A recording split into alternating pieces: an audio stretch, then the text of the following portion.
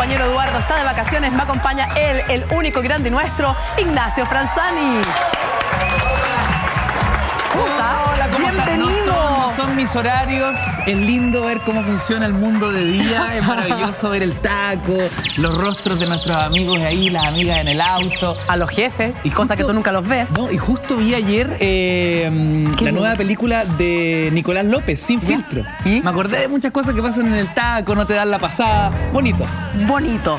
Esta mañana también te quiero contar, querido Nacho, que nos acompaña ella. Llegó sin panties. Connie Roberts. Hoy día- Mm, ¿Cómo estáis, Nancy? sí, Peludi. No se depiló. No me depilé. No, pero, pero ¿puedo hacer, ¿puedo hacer un estudio? Un estudio, un estudio. digamos, objetivo. por favor. Ya, ¿qué cosa? Hay, depi- hay depilación. No, es Hay que espérate, depilación. pero hay una cosa que no quise, ponerme taco. Qué Muy rico bien. usar zapatillas. También nos acompaña esta mañana. Vicky Walsh, que de alguna manera predijo lo que iba a pasar con nuestra selección. Muy bien, Hola, bella. Linda, ¿cómo le Había dicho 3-0, finalmente fue 7-0. 7-0, qué alegría. Excelente, pase por favor. Y el novio de Chile, el novio de América, lo conseguimos. Se casa Juan Salpate. ¿Cómo Ceci- es que el viernes le pidió matrimonio, Acá de al verdad, aire. al aire a la Cecilia después de 30 años de convivencia. Ninguna posibilidad de esquivar ese matrimonio. Pero para, ¿Verdad televisiva o verdad verdadera? No, verdad, verdadera, absoluta, ¿Qué te completa, dijo concreta. La Ceci cuando llegaste a la casa. Feliz, abrazo, revolcón, todo.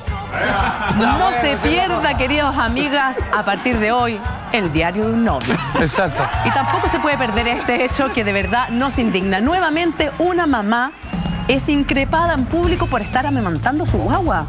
Este hecho de verdad se repite a lo largo de todo el mundo. Vamos a la nota y comentamos.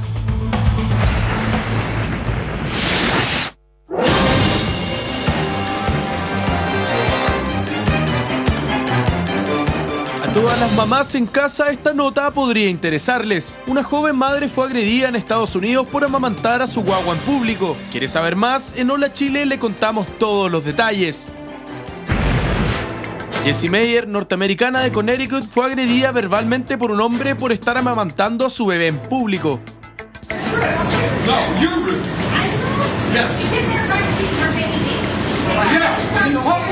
Because I'm feeding my baby. This man is going crazy. And I'm shaking. Fueron las propias personas en el local quienes prestaron ayuda a la pobre madre que temblaba en el lugar. I'm like shaking. No, don't shake. You're fine. He has no right to be doing what he's doing. You have a baby in your hand. Okay? I'm here protecting her. Okay? Claramente alterada, la madre no pudo hacer más que agradecer a quienes la ayudaron. Recordemos que esto no estaba muy alejado de nuestro país. Aquí se vulneraron los derechos del niño, tanto como los derechos de la madre. En el momento de que yo querer a empezar a arreglarme para amamantar a mi hijo, el administrador, en este caso detrás de la barra, me dijo que no, que no se podía, que estaban almorzando. Paula Gómez acusó discriminación cuando alimentaba a su bebé en un restaurante en donde se le pidió que por respeto no lo hiciera. ¿Usted qué opina? ¿Cómo uno va a tener que esperar llegar a un lugar cerrado para darle pecho a la guagua que si llora porque tiene hambre, no porque él quiera llorar o por una tontera? Lo encuentro estúpido que esté pasando eso. No, no se debería tratar así porque no es algo inmoral, pues no, es algo que siempre se ha visto. Es pésimo porque es algo natural. Eh, no vaya a dejar a tu hijo llorando por, porque la gente no quiere. La gente pasa y dice, tápese cochina, tápese, no tiene que darle eso, puta, que es cochina la señora y cosas así. Insólito que en un país que se llame desarrollado pase algo como esto, ¿no cree? Pero no todo es malo. Mire la iniciativa de este sushi en San Antonio. Si tienen abierto un lugar así donde tú vas a estar cómoda, más encima te atienden y te regalonan con, un tecito, es bastante, bastante cómodo estar en un lugar así. Claro, esto recién comenzó el lunes. Entonces llevamos recién eh, dos días y medio con esta campaña. Eh, el, día, el primer día recibimos dos mamás con sus bebés, principalmente para felicitarnos, más que para tomar el té, vienen a- para sentirse en confianza. Hoy recibimos dos más, ahora estamos con una mamá acá en, en nuestro local. ¿Usted en casa dejaría de amamantar a su bebé por miedo a ser juzgada?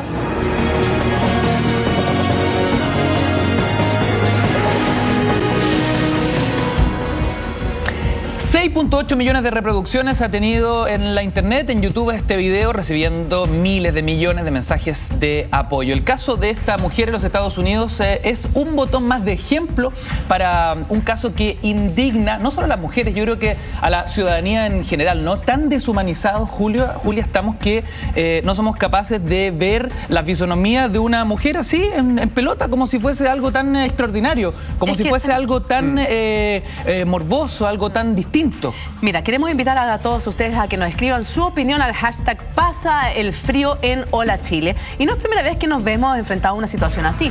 Vemos que eh, a esta mujer la tratan de asquerosa, a otra chica que entrevistábamos acá en nuestro país le decían tápate cochina. ¿Qué puede tener de cochino o de asqueroso alimentar a tu guagua, Connie Roberts? Mira, a mí me llama la atención porque cuando yo recién estaba viendo el video, como que lo primero que uno piensa, ese tipo, ese hombre está enfermo, o sea, una persona enferma. Pero después uno se va dando cuenta que eh, pasa mucho más de lo que uno cree. O sea, no son, no son tampoco los lugares que, que te cuentan, que se te acerca la gente, oye, tápate, Y en oye, todo el asquerosa. mundo. Y en todas partes del mundo, porque uno dice en Estados Unidos no pasa, pasa, pasa acá en Chile. Y, pero la verdad es que yo creo que ahí te demuestra lo, lo, lo años, o sea, lo que nos falta evolucionar como sociedad, entender lo que es la maternidad, entender lo que es amamantar a una Pero me da la impresión Entonces, que antes se entendía perfectamente, algo pasó en el camino. No, Pues nunca no, fue- siempre ha ¿En sido mal mirado. Uy, yo pensé, es que yo me creí como que no era tema. La verdad, nunca vi que alguien reclamara por algo así.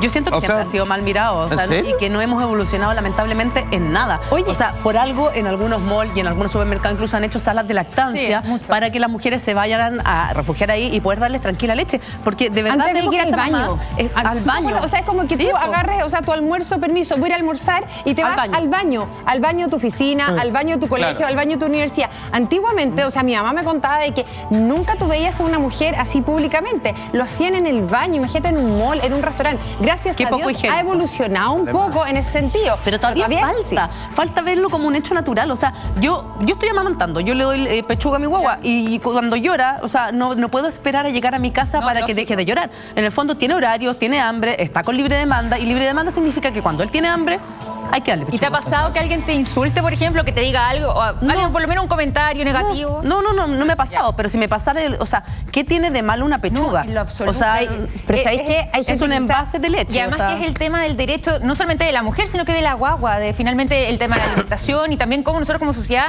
resguardamos justamente eh, ese, ese cuidado de ese menor. Es, es muy extraño la, la. Indignante, querida Vicky. Queremos saber tu opinión, querida amiga. A ver. Mira lo que dice esta siguiente información. Ley aprobada. Cinco años de cárcel a mujeres que den pecho en la vía pública. ¿Dónde es eso? Todos los ¿Qué? detalles de dónde es esto, qué es lo que está pasando Oh, en nuestro ¿dónde mundo. Estamos todos locos a la vuelta de esta No, pausa comercial. no. Queremos saber tu Se opinión. acabó todo ya. Una pausa y ya volvemos. Chile, indignación mundial ha causado esta portada, esta noticia que está viendo usted en pantalla. Ley aprobada, ¿Cómo puede cinco ser años de así? cárcel a mujeres que den pecho en la vía pública. Nuestro equipo periodístico lo estuvo reporteando y, mm, y es una noticia falsa. Ah, bueno. Ay, estaba presa. Pero Bravo. podría llegar La pregunta es, ¿podría llegar a suceder algo, algo así? Yo Pro- me confieso. Probablemente no cárcel, pero probablemente una multa. Yo estoy de acuerdo con Salfate. Yo me perdí en algún minuto con lo que estaban hablando Mm. ustedes. Yo siempre pensé que en algún minuto de la historia era, era algo normal, era algo, eh, bien visto, era algo. como un pañal que te tapa. O sea, hay algo más cándido, hay algo más puro que ver a una madre amamantando. Porque el problema está en la mente del observador, ¿En qué minuto aparece el morbo? ¿En qué minuto aparecen epítetos como el al de esta mujer eh, norteamericana, la noticia que hablábamos antes de la pausa, eh, tildando de asqueroso el, eh, el hecho de que una mujer amamantaba a su guagua en un local de comida rápida? Oye, en todo caso, en el caso chileno por lo menos, ya en el Senado se está tramitando una ley que justamente eh, resguarda el derecho de la madre a amamantar en un lugar público sin tener ningún tipo de problemas y de hecho, en caso de que una persona ¿Te sea discriminada por esto mismo, va, va a correr con la ley ¿En qué Zamudio. caso está diciendo como el derecho de la madre? Es el derecho de ese niño a Bueno, ser alimentado, más allá del de la madre. O sea, Pero- ese niño necesita ser alimentado. ¿Qué tiene una pechuga? De verdad, ¿qué valor le damos? Tan, tan sexualizados estamos Claro. que vemos una, una madre amamantando Es que es muy y nos fácil. produce pudor, Es nos que produce si- Es algo. que si alguien se erotiza o en su defecto encuentra asqueroso, inmoral, que una mamá esté amamantando, de inmediatamente está claro quién tiene el problema. O sea, la- el observador. Ahí esa persona La ha, perversión. logra- ha logrado llevar a un estado erótico una función tierna por lo básico, ¿sí? Y de básica para el niño en su alimentación. Entonces, es que a- eso- acá estamos, está corrido el eje. ¿sabes? que aquí se desplazó algo psicológicamente. Estamos pésimos. Pero pésimos. ¿sabéis sabéis cuál es el problema que recién veíamos? ¿Será posible que lleguemos a que haya una condena por amamantar? Hoy día, el otro día lo conversábamos, de que en Qatar creo que fue, que, o sea, una mujer que, que denunció una violación, ella fue detenida y fue, o Terminó sea, presa. terminó presa. Entonces tú decís, claro, es verdad, la perversión está en el hombre que mira, pero finalmente tú te das cuenta que las leyes de repente no tienen ningún sentido, no tienen ni pie ni cabeza. Entonces, Exacto. qué lamentable está el mundo actual Sí. que esto sí podría ser No, real. O sea, que sea condenado, no sé si con cinco años de cárcel, pero que sea castigada. Y eso es terriblemente absurdo, Hay no que sé cómo entender que es parte de la naturaleza humana y que todos venimos de una mujer que eh, tuvo la suerte de amamantarnos y crecimos de esa manera. O sea, no hay que darle otro tipo de connotación. Exacto. Pero lo que sí es preocupante y lo que hay que darle todo tipo de connotación son los supuestos acosos y abusos que estarían existiendo en algunas universidades, no solo del país, sino también con chilenos en el extranjero. Vamos al informe y luego ampliamos este tema.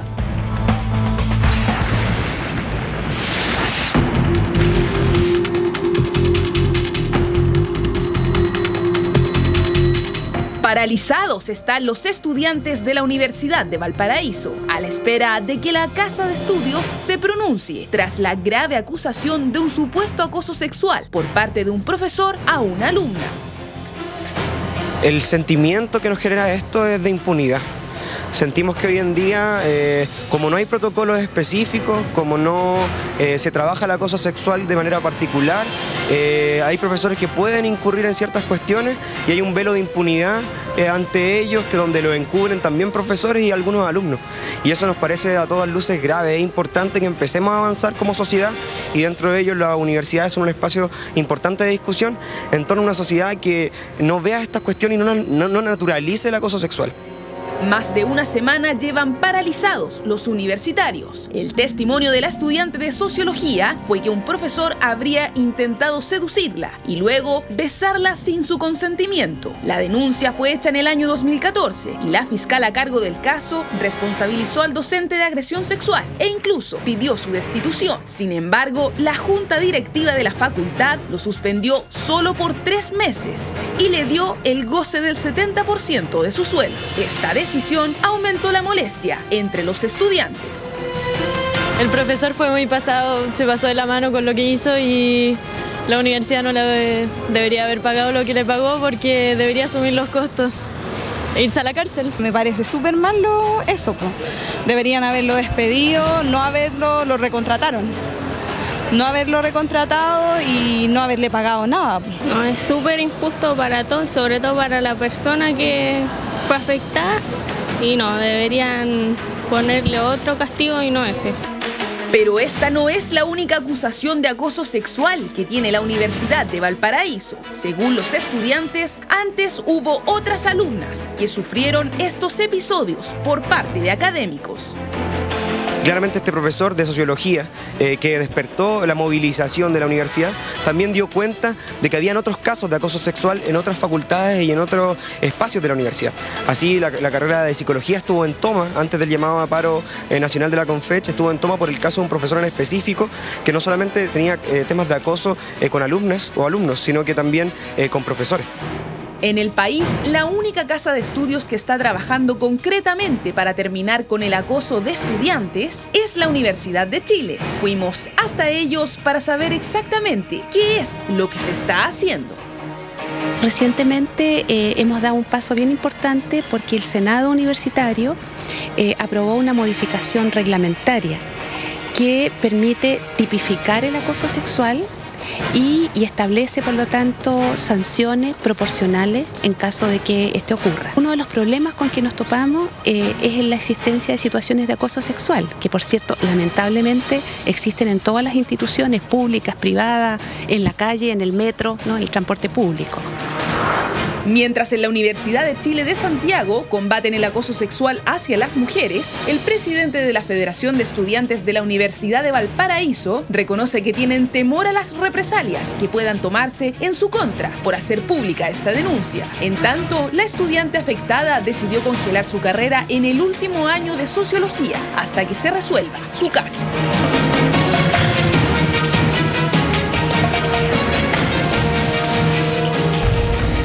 ¿Qué tanto se pasan de listo los profesores en las universidades chilenas? Yo creo que esto es una tendencia que recién comienza. Mm. Cuando yo estudié en la universidad, esto nunca se discutió. Esto es un fenómeno muy actual y me parece que es muy sano que se transparente, que se pongan las cosas sobre la mesa, que esto se evidencie. la verdad, hace 5 o 10 años esto yo no lo había escuchado con. Yo tampoco. Yo la verdad, y sabes que me sorprendió muchísimo que hoy día en Chile ya se están denunciando, porque antiguamente yo creo que nadie se atrevía a hacer una denuncia, porque tú decías, no me van a creer, obviamente que le van a, a- o sea, creer le al van a creer al profesor.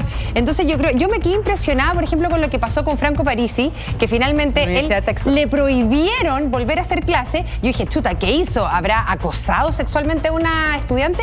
Y no, o sea, el otro, el otro día me puse a leer qué fue lo que él hizo. ¿Qué? Y no, no hay como algo explícito, no hay un abuso. mucho Hay menos. insinuaciones. Hay insinuaciones, pero que son Solo súper eso. son súper leves. Para uno son leves, pero tú te das cuenta que en Estados eso. Unidos la vara es mucho más baja. Entonces. Es que el tema bueno de acoso en Estados Unidos es un tema que preocupa precisamente por el- la cantidad que existe en, en las universidades y que parece que está llegando a nuestro país, Vicky. En Estados Unidos es una cosa impresionante porque eh, al menos ahí, eh, de hecho, esto también es un tema reciente allá en la universidad y que se puede ver, en, hay un documental que está en Netflix, se lo Sí. recomiendo a la gente en su casa. Postuló que eso- Oscar este año. Claro, que ganó un Oscar que eh, lo produjo además Lady Gaga, así que está bien en boga y que justamente abarca este tema, donde ellos denuncian que este tipo de abusos ocurren muy, muy frecuentemente, no solamente de parte de profesores eh, hacia alumnos, sino que de repente también incluso entre mismos alumnos. ¿Y eh, qué es lo que han hecho algunos eh, de las denunciantes en estos casos? Justamente lo que veíamos en la nota. Ellos han paralizado la universidad y exigen respuesta de parte de ese establecimiento, algo que estamos viendo que está pasando en Es que Chile. me parece lo mínimo que se puede hacer y que los compañeros tienen que solidarizar con las presuntas víctimas. O sea, toda universidad que se preside tal o instituto debe hacer una investigación ante una supuesta acoso o abuso de parte de un profesor o un ayudante hacia las alumnas. Me parece que, que ¿Qué no pasa si es al revés? Si el acoso viene de parte de las alumnas, porque eso también se da bastante. Yo me estaba Coqueteo. acordando, claro, yo me estaba acordando que yo tenía en la Católica un profesor de actualidad económica que era, que era huemoso y era jovencito. Entonces yo me acuerdo que yo con una amiga nos sentábamos así atrás y le empezábamos, le empezábamos como a coquetear un poco, lo tratábamos de seducir. Claro. Y realmente era increíble, o sea, ahora yo ya más grande, ahí éramos más inmaduras, tú te das cuenta cómo lo incomodábamos, porque él, nosotros así como que le poníamos carita y él nos bloqueaba, o sea, no nos miraba. Entonces también debe ser Profesional, po. Profesional. Profesional. Claro, Profesional. Entonces, por eso, un, poco yo creo que eh, tú te das cuenta de que esto no es solamente del lado de los profesores a los alumnos, sino que hay muchas Una alumnas pregunta. que tratan de seducir al ¿Con profesor. qué nota partiste o terminaste ese ramo? Y lo peor de todo es que me rajó. ¿Te rajó? No, no, no, no, no lo pasé. No, lo, lo pasé. No. No, le No. vamos, se lo echó, pues. No, mira, sí, de verdad, él fue súper profesional, de verdad que nunca ni siquiera nos miró, nunca no- nos dio atención. Pero no sé si a ti te pasó, Nacho, por ejemplo, alguna vez. A mí, por suerte, no me sucedió. Vamos a revisar qué está pasando en las redes sociales. Eh, tenemos el comentario de Nadia Navarro con el hashtag Pasa el frío en Hola Chile. Qué bueno que ahora están denunciando. Eso pasa en muchas universidades. Me tocó ver muchos casos. A mí, en mi propia universidad, dice Nadia. ¿Qué nos dicen? eh? Lo que Ah, pasa es que es un, asunto de extorsión de parte de los Da uno, profes. da uno, da uno. No, porque ¿Estás yo- ansioso, yo- yo- papi? yo- yo- yo me calenté. No para, para. No, ella quería todas las pero ¿sabes opiniones.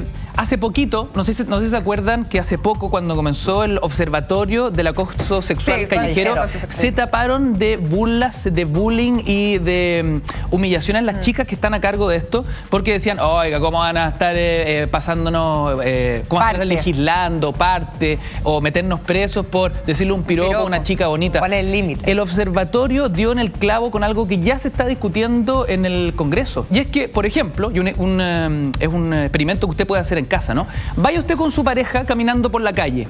Deje a su chica caminar media cuadra adelante. Va a ver cómo los hombres la miran de forma distinta que cuando van de la mano. Mira. Eh, la- se dan vuelta, el piropo, la molestia. Cuando uno va de la mano con, con su, con su novia, ¿no? Con su esposa, en fin, uno no es consciente como hombre del acoso que sufre una mujer en la calle. Y que lo desagradable que puede ser. me puedan comentar al respecto. Así es, tenemos otro Twitter que queremos compartir contigo y que coincide con lo que dice Connie. Paulina Quintana nos dice, no he visto ningún caso de esa índole, pero he visto alumnas diciéndole a los profes, hago cualquier cosa Bueno, es un tema, por pero- subir de nota. Sí, es que es para lado y lado. A mí me pasó Sí, ahí año el profe tiene que mantener- cuando existía la universidad. ¿Qué? en mi año mozo, cuando era, eh, cuando era joven y iba a la universidad, o sea, eh, hace como tres años, eh, me pasó precisamente que eh, en un ramo puntual de un profesor muy conocido, a quien estimo mucho, tenía un ayudante, Ay. el ayudante como que era buena onda con nosotros, buena ondita. Hasta que un día me dijo, oye, como que podríamos salir. Y yo le dije como que... Que entró en no, terreno. no. ¿Y? de ahí ¿Qué dijo? pas- pasé de los 6.5, 6.8, 2,1, La miércoles. 3, ¿Lo acusaste? 1,2. No. no lo- ¿Saliste con él? Sí. No. Se llama Polo y es mi marido. Oye, cuando sacaste un ¿Por qué promedio. no lo- en serio, por qué no. no lo denunciaste? No lo denuncié porque, porque dije, "Uy, ¿qué este chico tan boreado que sea? No, no, nada. pues, Como que me dio rabia y como que denunciarlo, ¿qué, qué vaya a comprobar? O sea, era como todo difícil. Al final dije, ya, chao.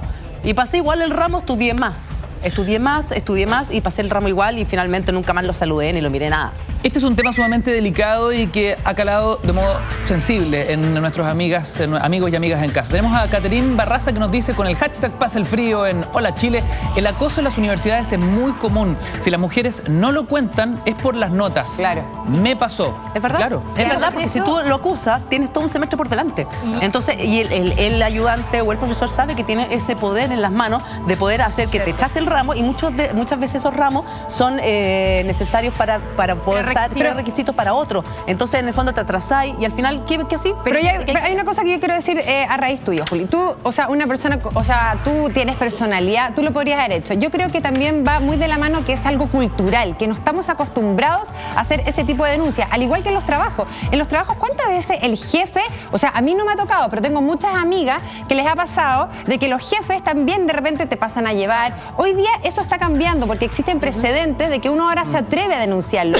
Pero antiguamente, o sea, tú que tienes personalidad fuerte, podrías haber ido a denunciarlo, pero como que uno decía, no, ya filo. Pero es que con pero eso está pasa, cambiando. uno dice, ¿cómo va a ser así? Eso era como, eh, o sea, no será una coincidencia Claro, no- que justo no me fue mal una prueba, o no me estaré yo pasando el rollo, o, o lo voy a anunciar y me van a decir, ah, no, tú te pasaste el rollo y que hay como estúpida. Entonces, finalmente son tantos los temores que preferí Pero- dejarlo al lado y no contárselo a nadie, ni siquiera a tu familia, porque finalmente uno no lo comparte, lo comparte con sus amigas de la universidad que te dicen, ya, te vamos a cuidar, pero con tus papás, tu familia, nada, pues Vicky. Claro, nada con la familia, de repente incluso nada con los mismos compañeros o con los mismos amigos. Yo creo que eh, la gracia de lo que está pasando ahora es que la unión hace la fuerza y es por eso que más gente Buen punto. Tenemos un. Twitter que queremos compartir con ustedes que dice lo siguiente.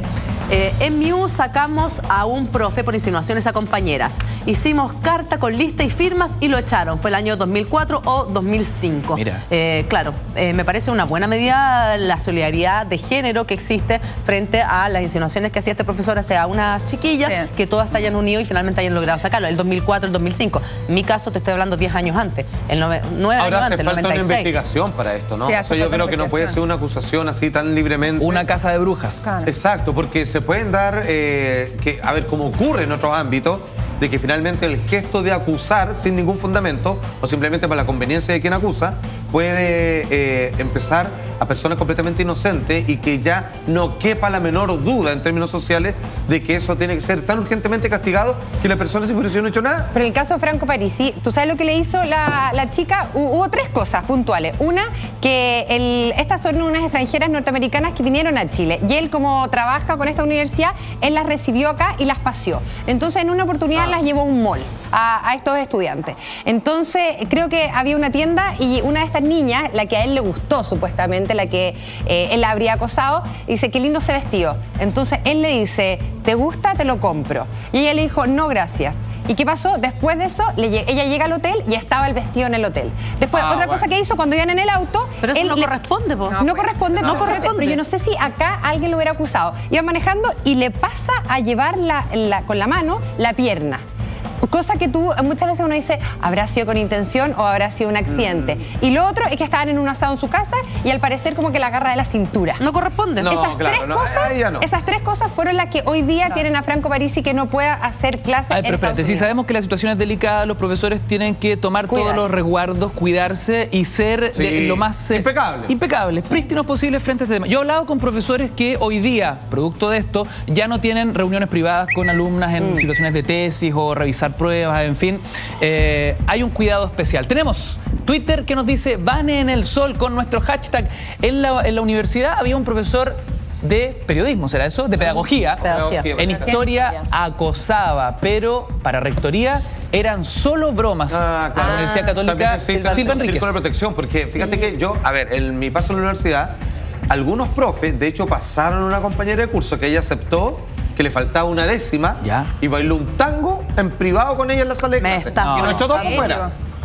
Sí, así nomás. Pero fíjate que ellos saben cómo lo miraban, porque para uno realmente hoy día es más grave. Lo encontré así como una cosa simpática. Claro. Y es que lo ven como un acto de galantería.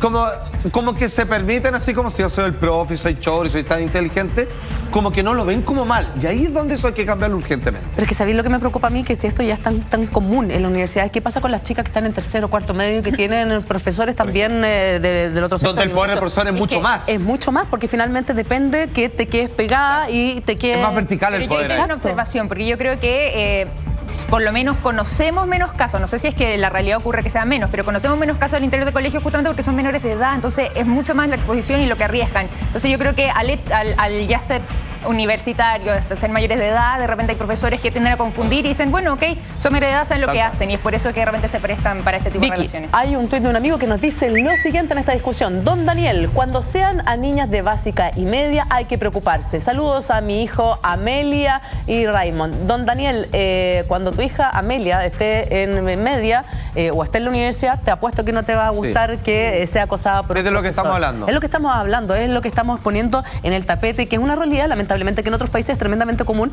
y que al parecer se ha instalado en nuestro país y que no se tiene que aguantar. No porque tengas 18 años, 19 años o estés en la universidad, vas a tener que aceptar que un profesor se pase de listo. El profesor está en la sala de clases para, enseñarte, para transmitir sus conocimientos, para eso. No para coquetearte, no para dar insinuaciones, no para tocarte. Entonces hay que tener los márgenes súper Mira, es que don Daniel da en el punto clave. ¿Por qué? Porque esa es la, esa es la manera que tiene el chileno, al menos, de ver que con poca, es- claro, es con peligroso. poca gravedad el tema de los acosos. Mm. No, pero si es mayor de edad, bueno, se lo habrá buscado, o bueno, si es grande sabe cómo defenderse. Ahí está el problema, don Daniel, que lamentablemente cuando nos preocupamos solamente si son menores de edad, pero hay muchas mujeres que no tienen la personalidad para realmente pararle los carros en seco a un profesor o a su jefe, independiente si tiene 20 o 30 o 40 años, y lo pasa pésimo. Y hay muchas de esas mujeres como que se sienten abusadas, no, no, no, no- quizás no necesarias sexualmente, pero sí hay un abuso de poder. Hay un abuso de poder, violentadas. Entonces sí es grave y yo creo que sí hay que ponerle mucha atención, don Daniel. Estoy en desacuerdo. Oye, con quiero usted. tomar dos puntos que se han dicho acá. Cuando la Julia dice el, el poder que tiene el profesor al momento de calificar, al momento de, de la nota, al momento de pasar a un alumno de Claro. ese ramo, es sumamente importante. ¿Qué pasa con las estudiantes o los estudiantes que sufren de acoso y que están estudiando con un crédito, con una beca? Eh, el nivel de temor de esa denuncia... Más aún. Es muchísimo, porque imagínate, existe posibilidad concreta de que esto no llegue a puerto, es decir, que no se investigue, que quede en la impunidad más absoluta y que después ese Claro. profesor cobre una represalia sensación- y lo tapen rojos y no lo haga pasar y pierda ese ramo y pierda su beca, pre- pierda su, pierda su crédito. Esa sensación de que a la persona le están haciendo un favor. Por eso que tiene esto de toda que la unión hace la fuerza es sumamente importante, porque cuando hay una denuncia colectiva, las universidades se ven obligadas a cambiar los protocolos, ¿no? Yo creo que ese es el tema, cambiar el protocolo. Profesores que ya no tienen reuniones privadas con las alumnas o los alumnos en sus eh, oficinas. Que un poco lo que también pasó con los colegios. O sea, ya las profesoras no pueden cambiar a los niños si es que se hacen pipí, por ejemplo. Ah, Eh, se- la- las puertas cerradas, se pusieron ventanas para que se viera lo que estaba pasando. En el fondo yo encuentro que también eso está bien que se traspase a las universidades, sobre todo por la cantidad de, de anuncios de supuestos acosos. Me parece que es equivalente lo que sucedió hace algún año en los colegios con lo que pasa ahora con las universidades. Tenemos el Twitter de Sonia Garrido que nos dice lo siguiente. En los liceos también los profesores se insinúan a las niñas y niñas que acosan a los profes. Hay de todo. Hashtag pasa el claro. frío en Hola Chile. Absolutamente de acuerdo. Pero siempre que- la responsabilidad está en el profesor. Claro. En el que acosa y en el que se deja acosar. Y el que tiene el poder Él debería tener una barrera. es la autoridad. Entonces igual hay una, una responsabilidad mayor por su parte. Yo creo que es importante igual lo que ha pasado en las redes sociales porque eh, en muchos de estos casos, al menos en el caso de la universidad, se ha visibilizado este problema justamente a través de las redes sociales. Se han creado grupos para hacer este tipo de denuncias. Claro. Finalmente lo que hablamos de la unión hacia la fuerza, de repente estas redes sociales han servido justamente Capaz para destapar este tipo de Existe cosas. un departamento para esto en todas estas instituciones Claro. Académica, debería hacerse. A mí lo que me parece súper positivo es que vemos de que hoy día, como dice la Vicky, la unión hace la fuerza, lo estamos viendo que se están dando este tipo de denuncias en las universidades. Porque yo, yo creo que esto ahora también va a pasar al ámbito laboral, porque yo siento de que Chile estamos años luz, a diferencia del resto del mundo, con el tema del acoso laboral, porque hay demasiadas mujeres, que, porque a diferencia del tema de la uni- universidad, que tú dices, chuta, ya, eh, puede que me eche el ramo, ¿qué pasa en el trabajo? Tú dices, voy a perder el- mi trabajo. O sea, mis hijos comen gracias a que yo tengo trabajo. La presión mis es aún hijos mayor. Estudian porque yo tengo trabajo. Entonces, ahí sí que la presión es mucho mayor. Además, tú dices, ¿con quién lo denuncio? Porque en la universidad, ok, tú tienes en el fondo un- una directora, rectoría. una Claro.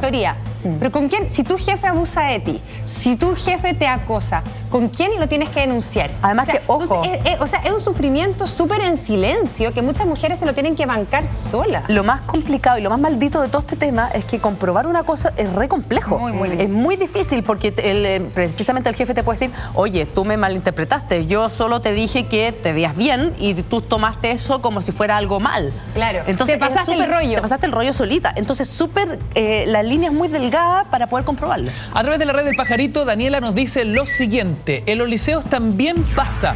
Tenía un profesor que tuvo relación con eh, una alumna de tercero y además la golpeaba. Hashtag pasa el frío en Hola Chile. Queremos saber tu comentan. opinión, queremos que nos escribas y que nos cuentes si efectivamente eh, crees que se está abusando en las universidades, en los colegios y también en los trabajos contra nosotros. Eso luego de esta pausa comercial. Una pausa y ya volvemos. Queridos amigos, esto es Hola Chile. Comenta a través de nuestras redes sociales con nuestro hashtag que ahí está justo abajo en pantalla. Estamos eh, discutiendo sobre un tema indignante. Hoy las alumnas, los alumnos ya no tienen miedo a denunciar. Ola de acosos en universidades. Los profesores están pasando de listos cuáles son los protocolos que deben respetar, cuál es la imagen que tiene que ser, eh, digamos, intachable de un eh, maestro. Hoy es lo que discutimos no solo en universidades, también en colegios y también la discusión que planteamos, ¿no? ¿Qué está pasando en los trabajos, Alfate? Ahora cuando se han destruido absolutamente todos los límites, nosotros nos fuimos a comerciales con un realmente indignante Twitter que decía que un profesor tenía una relación de pololeo informal con una chica de tercero medio y a quien, sintiéndose prácticamente dueño en calidad de profesor y pareja, la golpeaba. O sea, creen que ahí ya rompió todos los límites. A ver, esa persona de partida, supongo que deberían rompérsele todos los derechos de volver a ejercer la profesión de pedagogía en cualquier lugar del mundo. De. O sea, él, él rompió todos los códigos éticos como persona, como adulto y en tercer lugar como profesor. Además que hay que entender que el profesor siempre, tanto en la universidad como en el colegio, tiene un, está preparado frente a una posición de superioridad frente al alumno. autoridad. Es una autoridad. Entonces también hay tipos y tipas que eh, de alguna manera se aprovechan de eso para conquistar o para conseguir lo que quieran. Señoras y señores, son las 10 con 41. Ojalá que este tema de los acosos pare no solo en la universidad, sino en todos lados en nuestro país. Queridos amigos, seguimos avanzando y verdadera indignación en las redes sociales, en la opinión pública, ha causado a la resolución judicial en torno a este, a este juicio, ¿no? En contra de la colusión del papel higiénico. La justicia finalmente ha rechazado esta querella, todo en la nota de Hola Chile.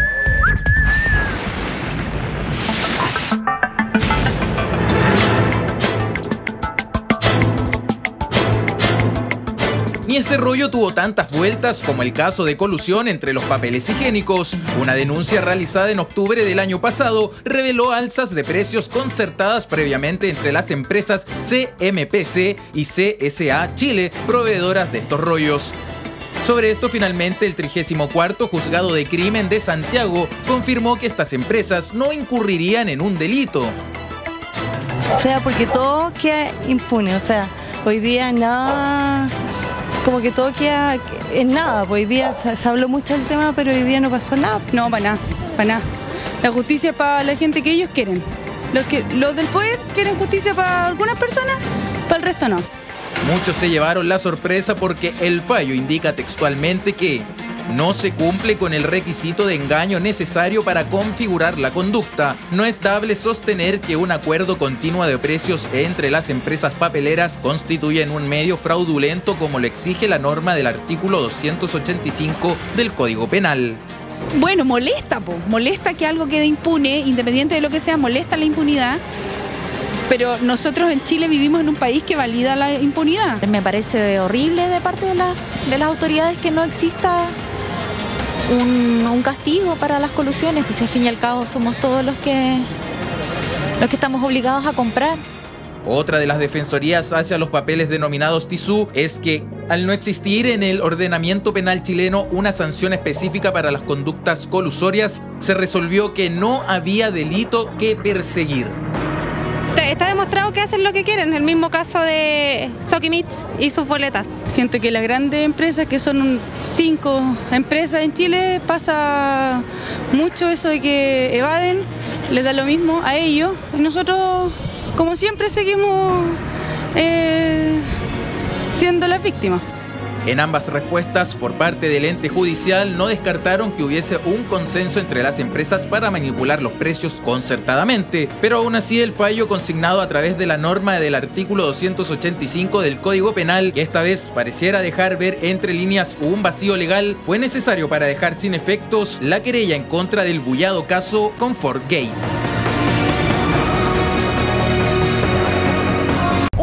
escuchamos eh, acerca de la colusión del papel higiénico y finalmente no pasó nada, Vicky Wolf. Y un año exacto, porque hace exactamente un año atrás entonces se pone, esta querella se presenta en el 34 Juzgado del Crimen eh, de Santiago, donde eh, hace tan solo un par de días atrás conocimos que finalmente esta querella no es acogida, no ¿Por va a ser qué? tramitada, no se va a acoger, porque ¿qué es lo que dicen? Básicamente eh, dicen que eh, se rechaza el derecho a admitir esta, esta tramitación, básicamente porque eh, no se eh, cumplen los requisitos necesarios para que se constituya un engaño y de esa manera eh, no se podría establecer que hay una conducta de colusión de O sea, parte de ¿No se presentaron todas las pruebas para comprobar esta colusión, fijar que- los precios? Más que hay un problema, yo creo que las pruebas es básicamente que con las pruebas que hay no se puede demostrar Que hay que, delito, finalmente que hay hay, un delito, que hay un engaño. Y eso básicamente es también porque en el artículo 285 del código, básicamente hay una serie de, de que no se estarían cumpliendo en este caso y por lo mismo estarían salvándose SCA Chile y CMPC, que serían estas dos empresas que Pero- eh, estado coludidas. Ya, pero es que rompen la democracia de la libre, sana y transparente competencia en favor de nosotros. O sea, si todos se ponen de acuerdo, es lo mismo que monopolio. El monopolio está prohibido. Esto es lo mismo de otra manera. Lo que pasa es que, lo- eh, ¿qué es lo que pasa finalmente en este caso y por qué eh, no se puede comprobar? Es porque en Chile no existe una ley eh, en contra de la colusión, o sea, algo que diga terrible. que Quiere decir esa que ahora todos pueden decir, si es- coludámonos entonces libremente ahora. Lo que pasa es que ya se está tramitando, lleva eh, ocho años, si no me equivoco, en el Parlamento tramitándose esta ley que existía en nuestro país hasta el año 2003. ¿Cuánto y me finalmente fue ocho años. Ocho Sí. años se va. Ocho años, en este ocho años además hemos conocido una serie de situaciones similares. Los pollos, de las farmacias, papel ¿Y sabes lo higiénico y todavía sigue durmiendo en el Congreso. Sigue descansando Mira. esta ley en el Congreso que fue Oye. erogada en nuestro país, que ya no existe desde ¿Qué el año pasa? 2003 como figura. Mira, tenemos un Twitter que queremos compartir contigo que dice lo siguiente, Priscila, hace mucho tiempo que la justicia en Chile está muerta. Es lamentable, men- es lamentable, pero cierto. Saludos a todos. Gracias, Priscila. Yo no sé si la justicia está muerta o esta ley que lleva ocho años en el Congreso para ser aprobada finalmente, eh, ¿por qué eh, los, los honorables no la han agilizado? Habiendo tantos casos en el último tiempo. Es que yo encuentro que finalmente eh, ya dudamos de todo. Entonces uno dice, bueno, y si los tribunales de justicia también están un poco coludidos, porque la Pero explicación. acá no es el tema del Tribunal de Justicia, acá el tema es que la ley permite que efectivamente Sí, pero esto- finalmente esta querella no sea acogida. Claro, no es acogida, pero eso lo decían los tribunales de justicia. Entonces, finalmente tú decís, están todos coludidos, porque eso es lo que nos hemos ido dando cuenta. Entonces, que tú dices, ok, pero no, no se puede, no puede seguir, como que no se puede seguir el proceso. Claro, no se puede seguir investigando porque no existe la figura de colusión en Claro, nuestro país. claro, entonces finalmente desconfiamos de todo. ¿Qué O sea, ¿en quién confiamos? En nadie. Solo quiero compartir un concepto con ustedes y con nuestros amigos en casa. Es el concepto de oligopolio. Situación de mercado en la que el número de vendedores es muy reducido, de manera que controlan y acaparan las ventas de determinados productos como si fuese un monopolio. Exacto. Esa es la madre Claro. del cordero y ese es el es. problema que enfrentamos en Chile. Entonces, Hay una gran en- concentración de eh, grandes empresas que venden los mismos productos y de manera natural terminan poniéndose de acuerdo para subir, para hacer movimientos de mercado. Lamentable, tan lamentable, querido Nacho, cuando nuestras guaguitas se enferman y tienen fiebre nuestros hijos, nuestros niños. ¿Cuándo preocuparse realmente? ¿Cuándo darle eh, eh, como paracetamol? Eh, Claro. ¿Qué fiebre es para llevarlo? A propósito, muy bien. En vivo. Vamos Julia. urgencia, Ah, no. vamos a la nota y luego le explicamos todos los detalles con un especialista.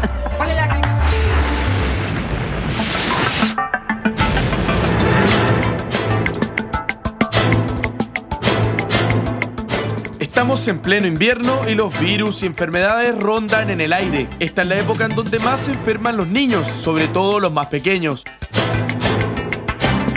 Su guagua está con fiebre, su hijo chico llega resfriado del jardín. Es el momento del año en que peor lo pasan las mamás y sobre todo los chiquititos. Súper fuerte en realidad porque empezó con el jardín y está una semana bien y una semana enferma. Eh, sobre todo cuando los niños asisten al jardín, eh, están súper vulnerables para eh, tener bronquitis, sobre todo con enfermedades respiratorias. Una de las cosas principales que uno sabe es tratar de no abrigarlos mucho, porque los niños mientras más los abriga, eh, más sufren con los cambios de temperatura. ¿Cómo detectar la fiebre? ¿Cuáles son sus principales síntomas? Sube la presión, aumenta el pulso, suelen haber trastornos en la respiración, el humor cambia, incluso el sistema digestivo puede fallar. Una de las técnicas infalibles es colocar un paño tibio en la frente del bebé para que la fiebre baje. Se podría decir un remedio de la abuelita. ¿Usted cómo hace para bajarle la fiebre a su guagua? Paño eh, tibio en la gotita, en la cabecita, cuando la fiebre es mucha y está ahí en la casa y, y necesitáis bajarla un poquito más rápido. Cuando pre- eh, presenta síntomas típicos como de fiebre, eh, tos y, y malestar, bueno, le llevamos al doctor. Es lo, lo primero que uno hace. En estas fechas, como mamá, tiene que estar más preparada que nunca. Recuerde los síntomas anteriores para saber si su guagua tiene fiebre y nunca dude en consultar a un especialista. Ahora en el estudio, un experto aclarará todas sus dudas.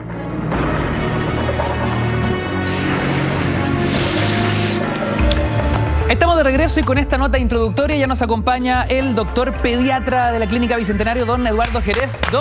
Qué gusto tenerlo con nosotros. Doc, que trajo además su kit. Todo su kit ahí, completo. Doctor Eduardo, yo quiero saber qué contiene ese kit de Vamos a ver, por supuesto, qué tiene el kit y nos va a explicar cuál es el mejor termómetro. Pero antes, ¿cómo saber si nuestro hijo presenta una fiebre grave? ¿Cómo poder distinguir eh, la fiebre? Bueno, la fiebre, eh, Julita, es básicamente un eh, marcador, un indicador de que algo está pasando. No es una enfermedad en sí misma. Por lo tanto, como buen indicador y marcador, eh, básicamente vamos a tener fiebres bajas que indican infecciones generalmente pequeñas y fiebres altas que pueden ser causa de, o sea, digamos, pueden estar demostrando una infección grave. Entre más alta es la fiebre, ¿quiere decir que la infección es más grave? En general, todas las infecciones, tanto virales como por bacterias, eh, pueden dar fiebres en algún momento alta, pero una fiebre alta y persistente es una fiebre que hay que ponerle una atención Pero- especial. Pero doctora, en el caso de los niños, a diferencia de los adultos, eh, hacen fiebres altas mucho con mucha facilidad. O sea, porque un adulto con 40 de fiebre está en el mismo día, está en urgencia, a diferencia de los niños. Pero ¿cuándo, después de cuántos días de fiebre tenemos que preocuparnos? Porque un día, dos días sigue siendo normal. Claro, habitualmente las infecciones parten con fiebre que pueden ser muy altas, pero lo que tú comentas, Connie, es muy importante porque en el fondo una fiebre que se prolonga más de 48 horas tiene una connotación distinta. 48 horas. Aunque 48. sea 37 y medio. Es decir, digamos, claro, si una fiebre alta se mantiene más de 48 horas, es necesario hacer ver al niño. ¿Cuándo si tiene- es una fiebre más baja, uno podría esperar hasta unas 36, 40, 72 horas. ¿Cuál es la temperatura promedio que debería tener nuestros hijos en estado normal, sin estar enfermos? Bueno, los niños, igual que los adultos, mantienen temperaturas similares. Es decir, eh, 36 y hasta medio. 36 y medio, hasta 37 es una temperatura normal. Ah, Doc, siempre me he preguntado eso. Eh, da la sensación que no es homolo- homologable la fiebre de un niño versus la de un adulto. Es decir, un niño que tiene una fiebre muy alta no es, comillas, tan grave como esa, eso, esa misma fiebre en un ah, adulto, una persona de 40, 50 años. Parece ser mucho más grave en un adulto. Lo que pasa, Ignacio, es que en general el adulto es un, individuo que presenta poca fiebre como reacción a las infecciones. El niño es un niño, es un paciente muy reactivo. Ya reactiva, eh, reacciona muy reactivamente, incluso no solo con fiebre, sino que con otros síntomas también. La tos, por ejemplo, en un niño siempre es muy intensa, a diferencia del adulto, que en general, cuando ya tiene una tos muy intensa, ya es un cuadro muy grave. Entonces, eh, en la medida que el niño responde con más temperatura, uno puede tolerar en el niño fiebres más altas. Como dice Connie, un niño con 39 grados puede estar en condiciones bastante mejores que un adulto con 38. Y en ese sentido, ¿cuándo hay que aplicarle paracetamol? Porque varios doctores dicen, si tienen menos de 38, no le pongas absolutamente nada, no les des nada. ¿Es cierto?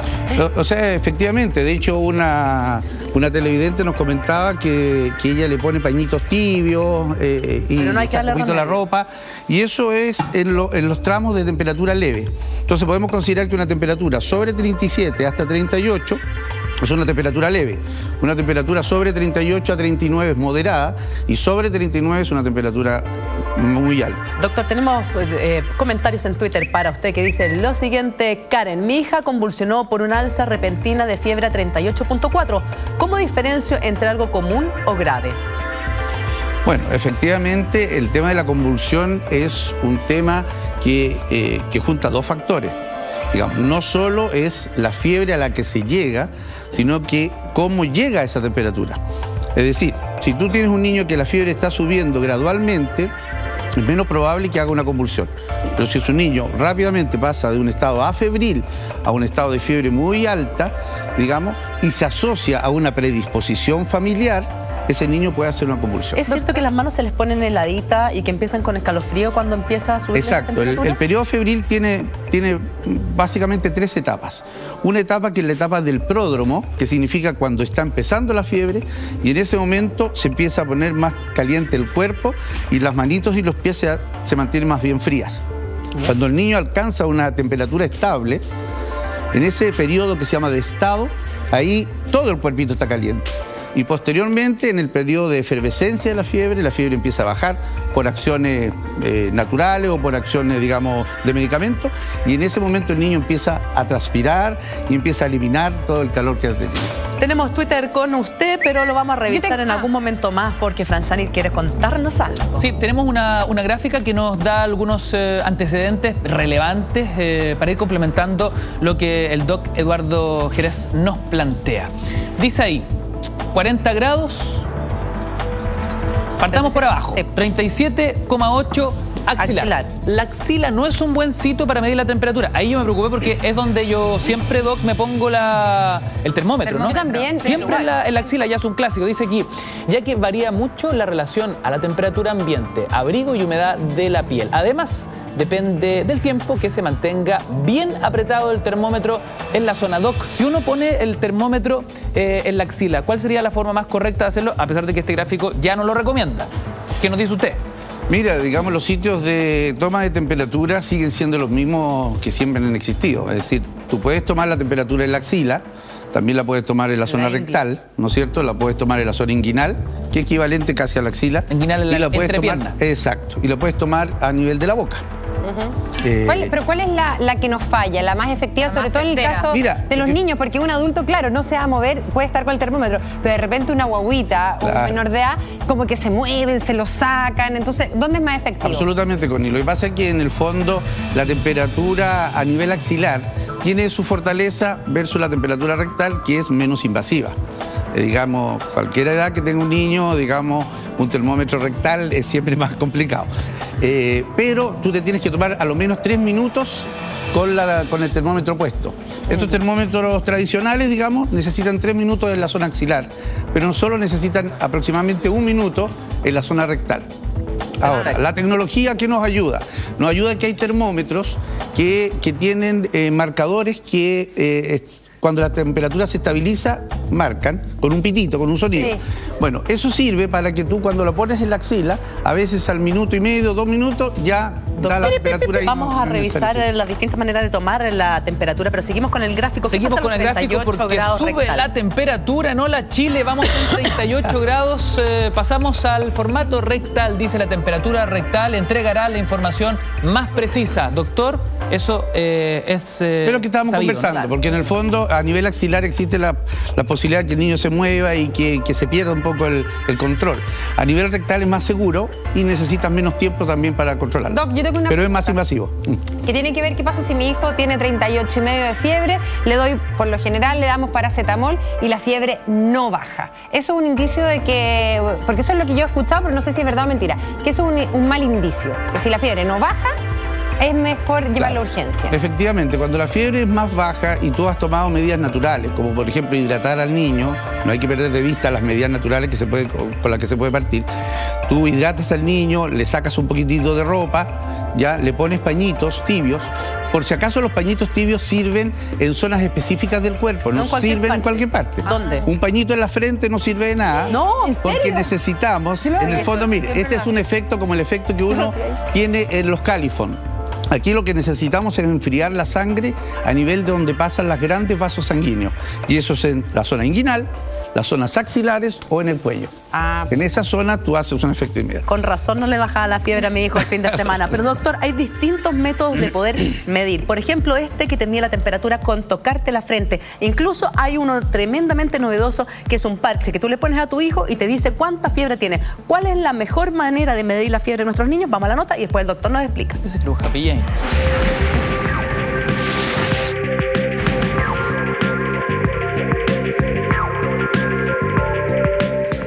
Alguna vez hemos tenido fiebre.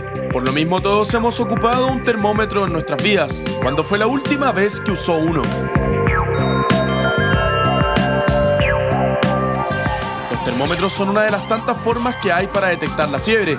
Dentro de ellas, una de las más precisas.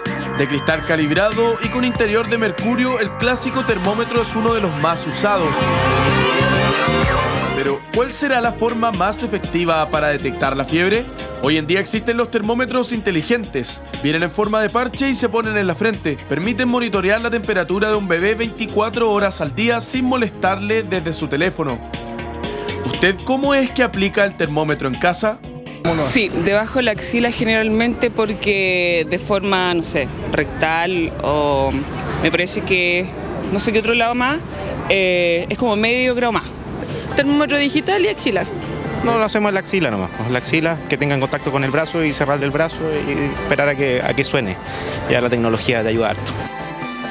Y si ya hablamos del termómetro, ¿recuerda usted el supositorio?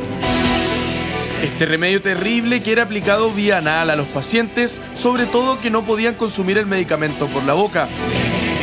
Muchos pensarán que alivio que ya no se use mucho. Lo cierto es que su efectividad no es tan alta como se pensaba en los años 70. Los tiempos cambian y las tecnologías para bajar o detectar la fiebre también. En el estudio un experto le dará todos los detalles que necesita saber para aplicar un termómetro de forma correcta.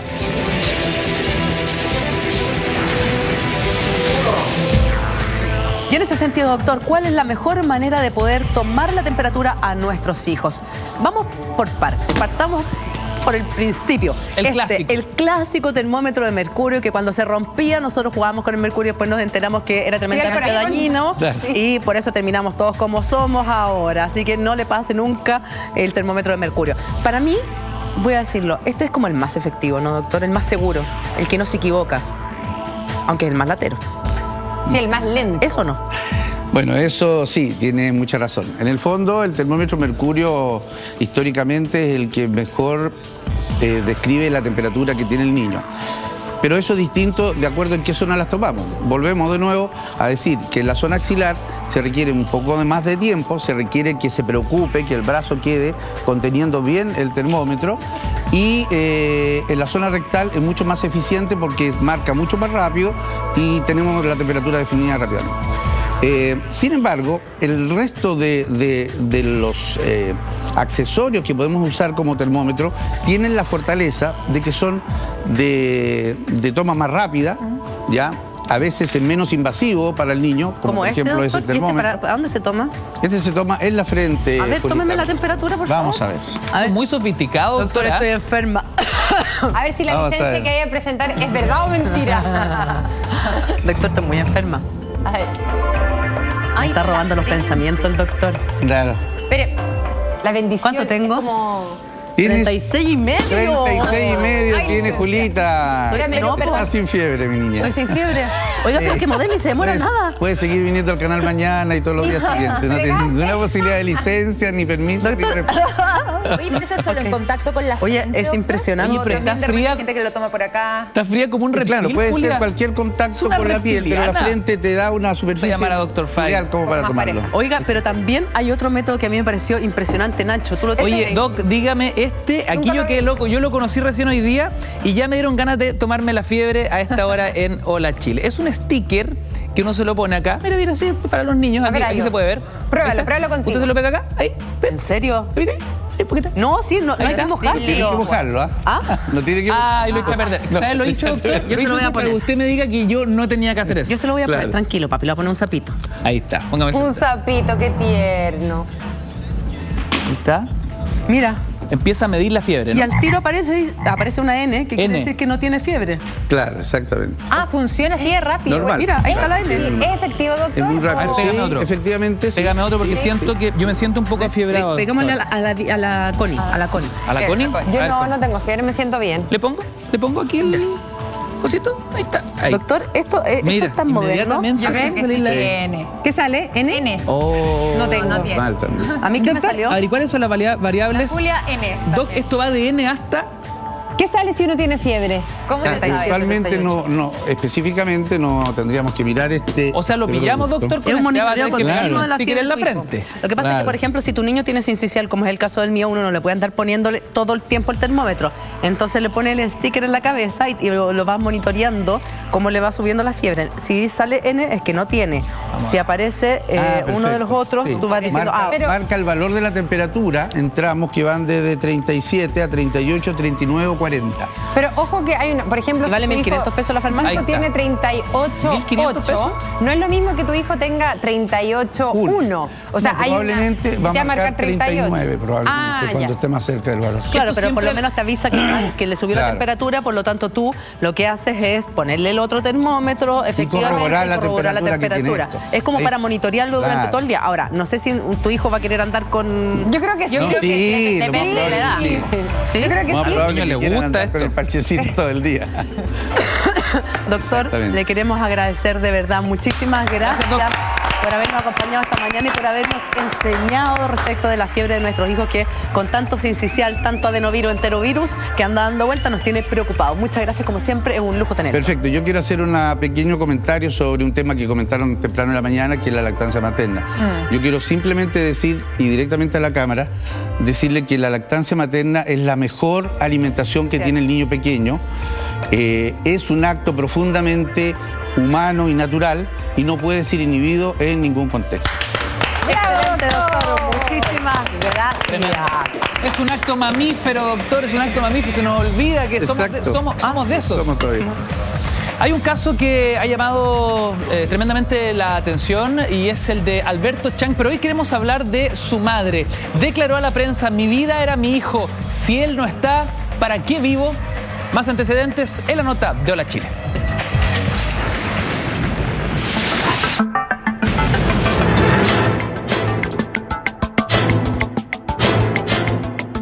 Con arresto domiciliario total y arraigo nacional, quedó Verónica Raggi, la madre de Alberto Chang, el principal protagonista de las presuntas estafas piramidales a cargo del Grupo Arcano. La resolución judicial fue fijada luego de que la mujer estuviera en prisión preventiva desde mayo pasado. Actualmente tiene alucinaciones de muerte y sufre de depresión. En esta audiencia lo que se habló dice relación exclusivamente con temas de carácter procesal. Bueno, está, está en una situación difícil, eh, entendemos que está en un- en una, con una depresión bastante justificada, creo, creo yo. De temas médicos, lo único que se habló en la audiencia de hoy día fue de una infección urinaria y señalamos que esta estaba siendo tratada y había sido detectada por los médicos del hospital penitenciario. Mi vida era mi hijo. Si él no está, ¿para qué vivo? Estas habrían sido las declaraciones de Verónica Ras, quien tiene a su hijo Alberto Chang en Malta, a la espera de su extradición. El complicado estado de salud de la ex tesorera del Comité Olímpico de Chile habría sido clave para que le revocaran la prisión preventiva. Pero ¿qué piensa su abogado al respecto? Verónica está en una situación muy compleja, muy difícil. Estar casi dos meses en la cárcel no es una cuestión fácil. Estar con un deterioro físico evidente, es decir, perder casi 14 kilos de peso no es una cuestión eh, fácil de sobrellevar. Tendrá que salir adelante, nosotros estamos tranquilos, confiamos en que la Corte de Apelaciones va a mantener esta, esta situación del arresto domiciliario total y el arraigo nacional. Las estafas del grupo Arcano que comprometen a más de mil personas por unos 170 mil millones de pesos también involucraron a personalidades de la televisión chilena, como el animador José Miguel Viñuela, quien entregó sus ahorros de 20 años de trabajo.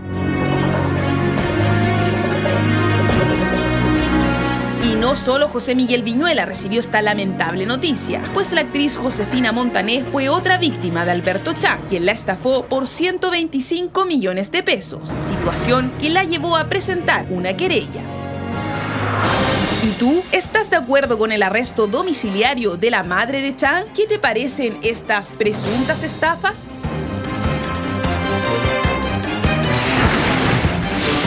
¿Tienes detalles respecto eh, en qué se gastó toda la plata este señor Chang? Es lamentable porque si bien hay mucha, mucha gente que metió todos sus ahorros de su vida aquí con, en la empresa Alberto Chang y fueron incautados la mayoría de esos bienes, hoy día, el, o sea, el ministro, o el fiscal Gajardo dijo que la plata no está. Es decir, Uy. se la gastó. ¿Se la ¿Quieres gastó? saber en qué se la gastó? Comencemos a revisar. Porque era una vía llena de excentricidades y ahí comenzamos a ver, tú dices, ¿qué es lo que es?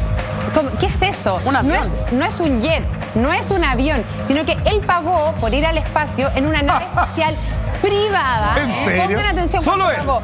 172.500 millones de pesos. Pero espérense, porque ¿se acuerdan que él siempre se jactaba que era amigo de Richard Branson, el dueño de Virgin Mobile? Sí. Bueno, esta es la compañía que viene vendiendo hace mucho tiempo este viaje al espacio. Claro. Que la verdad es que todavía no se ha hecho realidad, pero muchos millonarios a nivel mundial ya han pagado su pasaje. Claro. Y El. Alberto Chang es uno de esos ¿Cuánto- hombres. cuánto le costó el 172 mil millones Ya, pues, se le fue de todo. pesos. Ahí se le fue todo.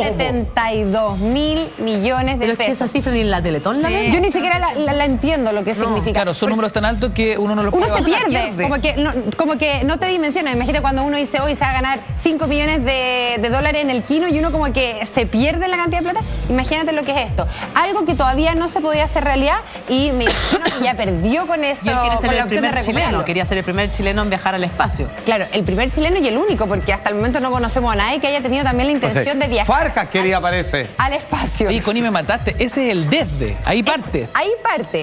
Bueno, ese es uno de los lujos. Ese porque sin comida. Otro lujo es el que comenzamos a ver en pantalla, porque como era amigo de Richard Branson, que es conocido su isla que tiene en las Islas Vírgenes en el Caribe, él también, también compró una isla, la isla Mosquito. ¿Compró Y una isla? compré- pero que no la compró en su totalidad, porque había que Ah, pagar. qué bueno. Claro, como que él pagó el pie de la isla Ah, y bueno. pagó 3.450 millones, que era una forma como de reservarla. Pero ¿qué pasó? ¿Qué pasó? Lo perdió, porque hoy día no te devuelven. Es como cuando no te devuelven la plata cuando tú haces una promesa de compraventa. Claro. La Ya, reserva, espérate, la que cuando tú te reserva- echas para atrás, no te espérate, devuelven. espérate, espérate, que la reserva de esa isla eran 3.400 millones. 3.400 Ah, que crédito te hacía-. Claro, que te hacía ser como el dueño de una parte. A él le faltaba pagar 9 mil millones de pesos para ser el dueño del Es que, 100% es de lo estaba pensando. Qué increíble, ¿eh? Lo Te hicieron.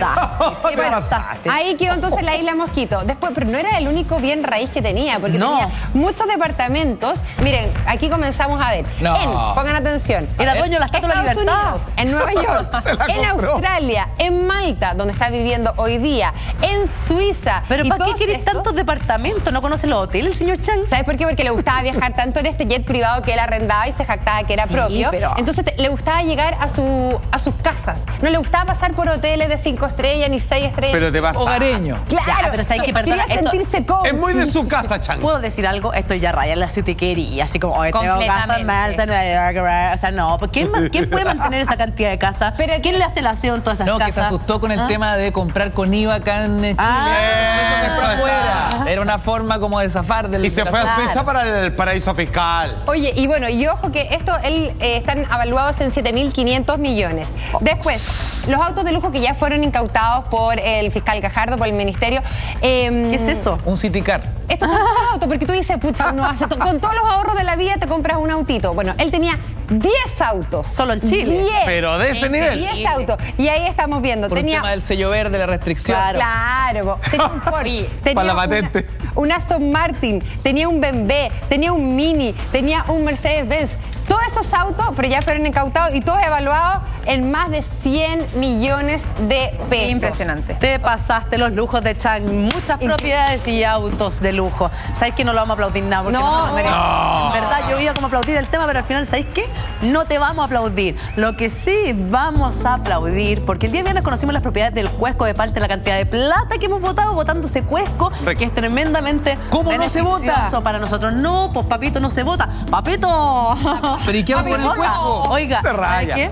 Tampoco se vota la cáscara del tomate. porque ¿Tampoco? tiene Muchas, pero muchas propiedades. ¿Sí? Vamos a la nota introductoria y después nuestra nutricionista nos explica por qué hay que guardar la cáscara del tomate.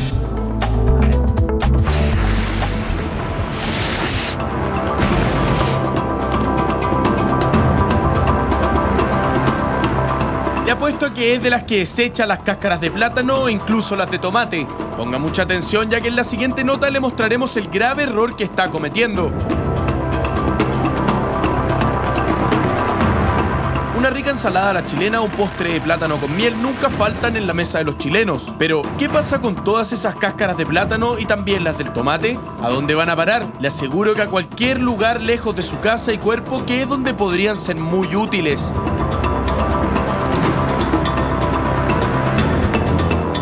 Así es, me escuchó bien.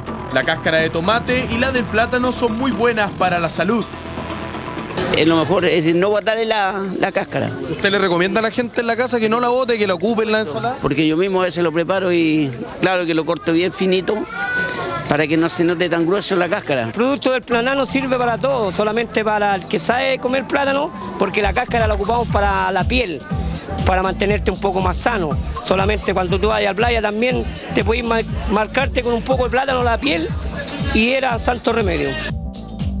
La cáscara de tomate contiene licopeno, una sustancia que es muy útil para prevenir problemas al corazón y que incluso sirve para prevenir el cáncer. Lo, lo preparo quitándole toda la cáscara, le pongo mm, algún aliño, cibuleto, pero, pero siempre la cáscara, lo lavo, la cáscara, todo. Eh, se la saco. Sí, antes comía con cáscara ya no. Mi hija se la, lleva al colegio entera. Y cuando come no, no la pela, se come la- así como una fruta, una mascada. Ahora, el plátano es algo especial. ¿Sabía que su cáscara tiene propiedades que se podrían considerar incluso curativas? Ayuda a filtrar agua ya que absorbe plomo y cobre. La cáscara cuenta con propiedades regenerativas que ayudan a curar heridas en la piel. Frotar cáscara de plátano en los dientes al menos una vez al día ayuda a blanquearlos. Ayuda a combatir el acné, solo hay que frotarlo sobre la zona afectada.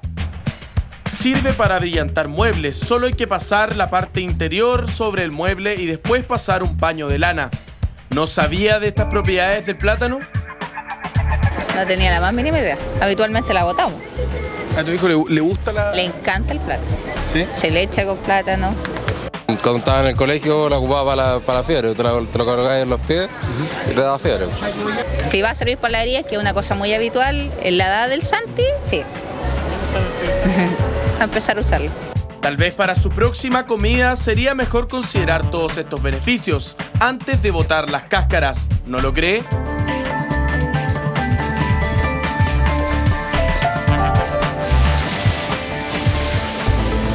Y ya estamos con nuestra nutricionista, estamos con Catherine Larra Guibel para hablar sobre esto que nos ha sorprendido muchísimo. Yo me confieso, siempre he botado la cáscara del tomate, nunca le he dado otro uso. Eh, uno también tiene temores por los pesticidas, dice, a lo mejor la cáscara viene con eh, ciertos elementos que eh, puedan generar cierta toxicidad, no lo sé. Por eso, Catherine, es importante que nos cuentes acerca de los beneficios, primero, de la cáscara de tomate que nos modela Julia en este minuto. Ahí sí, está, mira, principalmente la cáscara en realidad de todos los alimentos se concentra mayor parte de las, de las vitaminas, de las propiedades que tienen los alimentos. Entonces, idealmente hay que consumir la cáscara y en el, en el caso del tomate en particular tiene licopeno en grandes concentraciones. ¿Qué es el licopeno? licopeno ayuda a la salud cardiovascular Ya. y también previene cánceres. Está demostrado científicamente que el licopeno, que está principalmente en el tomate en sí, sobre todo en la cáscara del tomate, ayuda a prevenir el cáncer de mama y de próstata. Entonces es súper bueno por ese lado, por el lado cardiovascular y el lado del cáncer, porque es como un antioxidante muy potente. Pero el que viene, o sea, comérselo con cáscara en el fondo. Es que adentro también tiene, pero vuelvo a insistir, en la cáscara está más concentrado, entonces es de mejor calidad todavía. Katy, pero tú dices el tema del cáncer de próstata y cáncer de mama. O sea, si yo, por ejemplo, tengo mamá, abuela con cáncer de mama y yo como siempre, eh, regularmente, el tomate con cáscara, ¿puede ser de que pueda evitar un cáncer? O sea, como todo lo que hemos conversado acá, los alimentos ayudan a prevenir ciertas patologías, sobre todo si tenemos antecedentes genéticos, pero puede ser por muchos factores, multifactorial que tengamos el cáncer o no. Puede ser que estemos consumiendo otros alimentos que sí son cancerígenos, independiente que estemos consumiendo la cáscara del tomate, no nos va a hacer el efecto.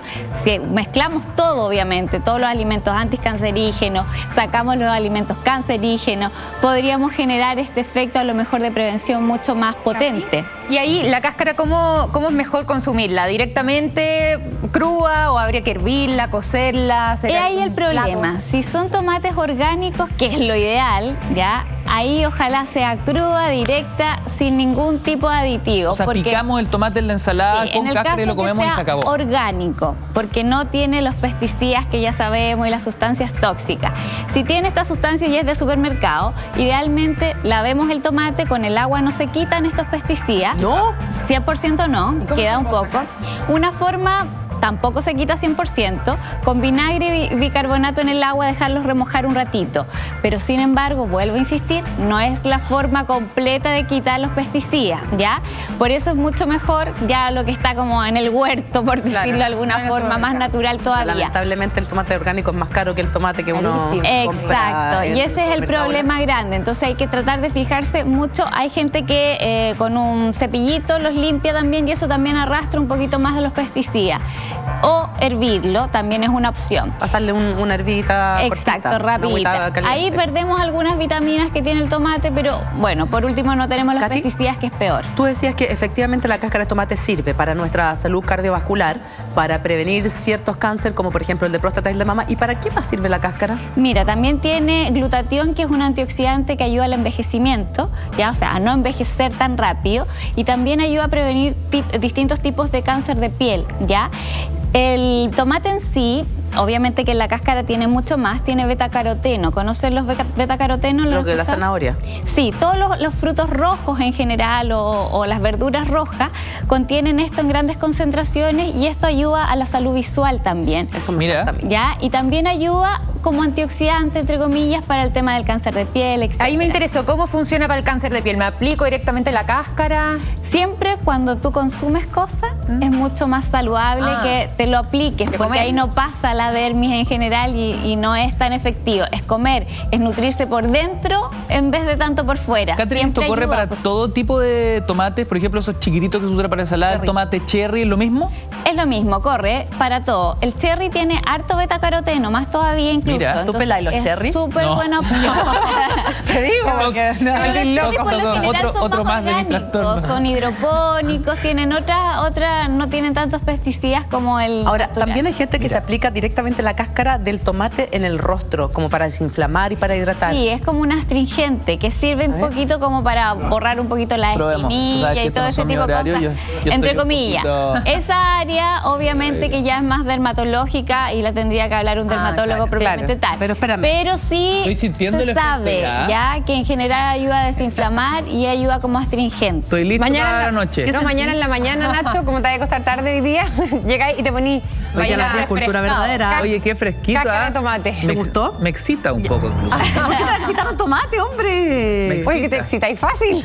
Te, vamos- te la regalo para que te la lleves a la casa.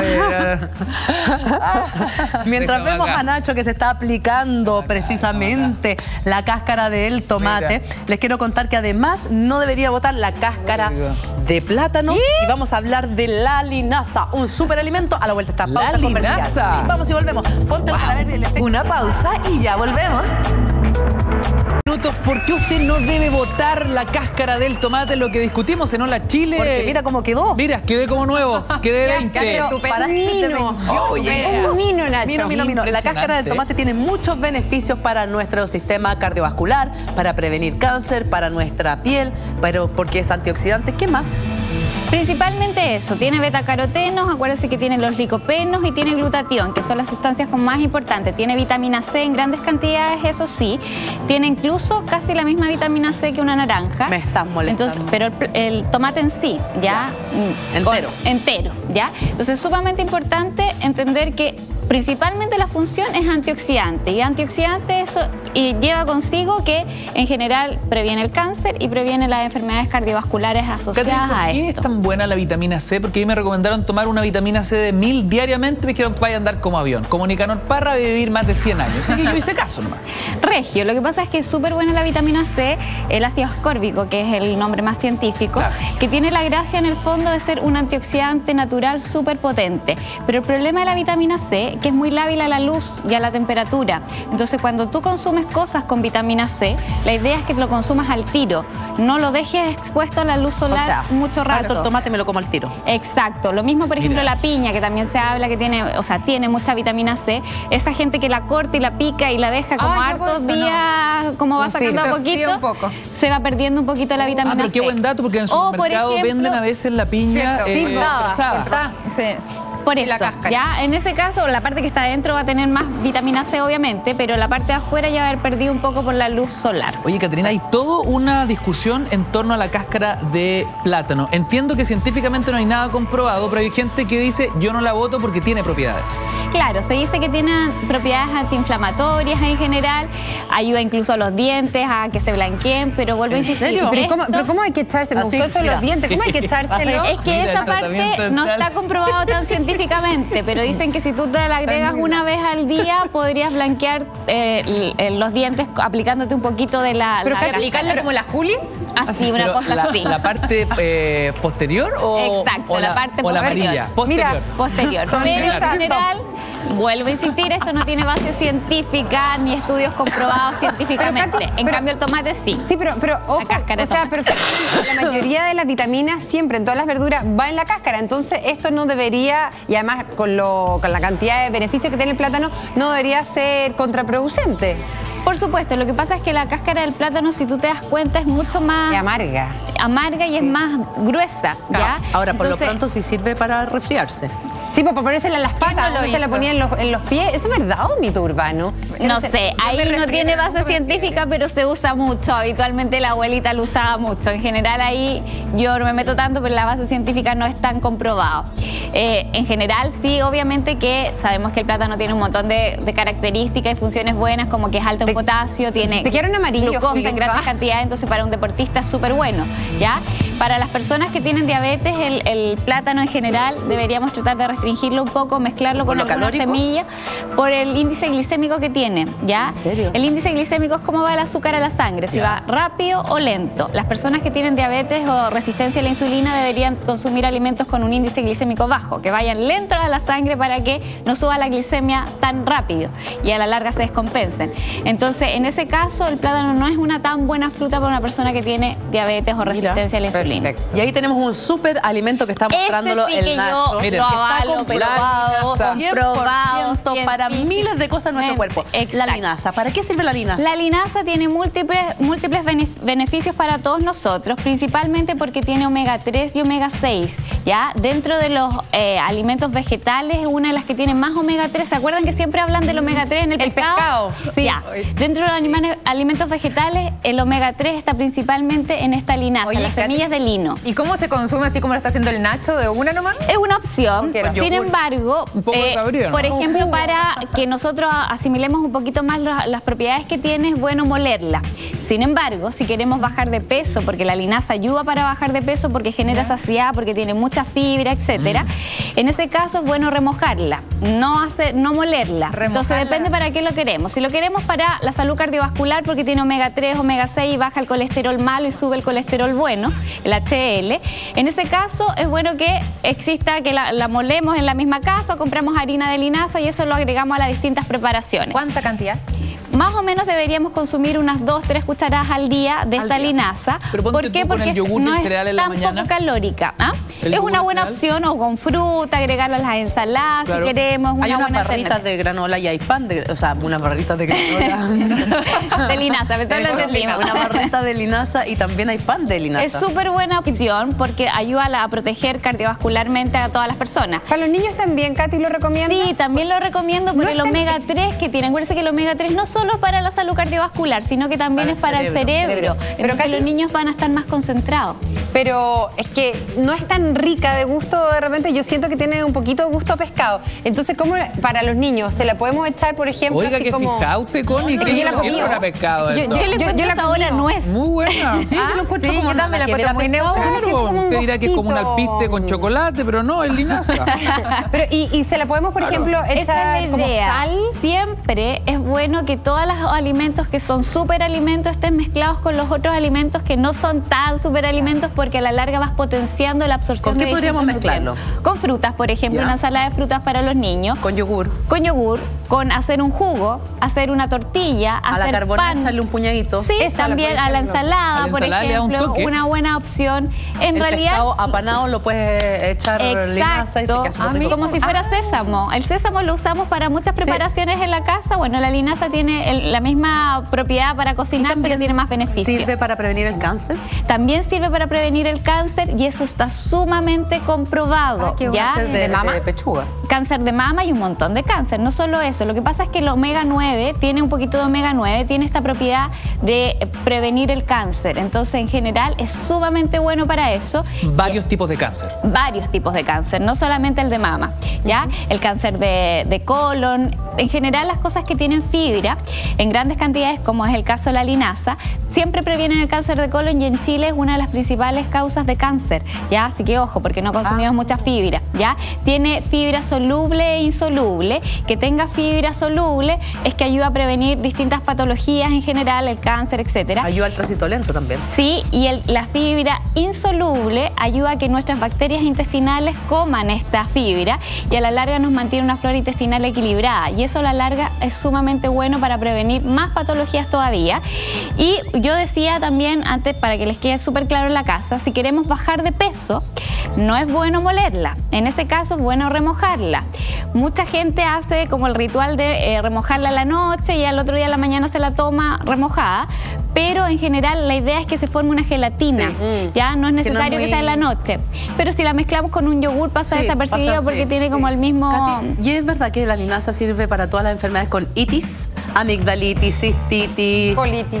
en general porque es un an- antiinflamatorio, pero eso tampoco está tan comprobado científicamente. Lo que sí está comprobado científicamente es que ayuda a la salud cardiovascular porque tiene el omega 6 y el omega 3, ayuda a prevenir cánceres, tiene vitamina E en grandes cantidades, por ende es un antioxidante potente y también está comprobado científicamente como tiene tanta fibra que ayuda al tránsito obviamente y a bajar de peso.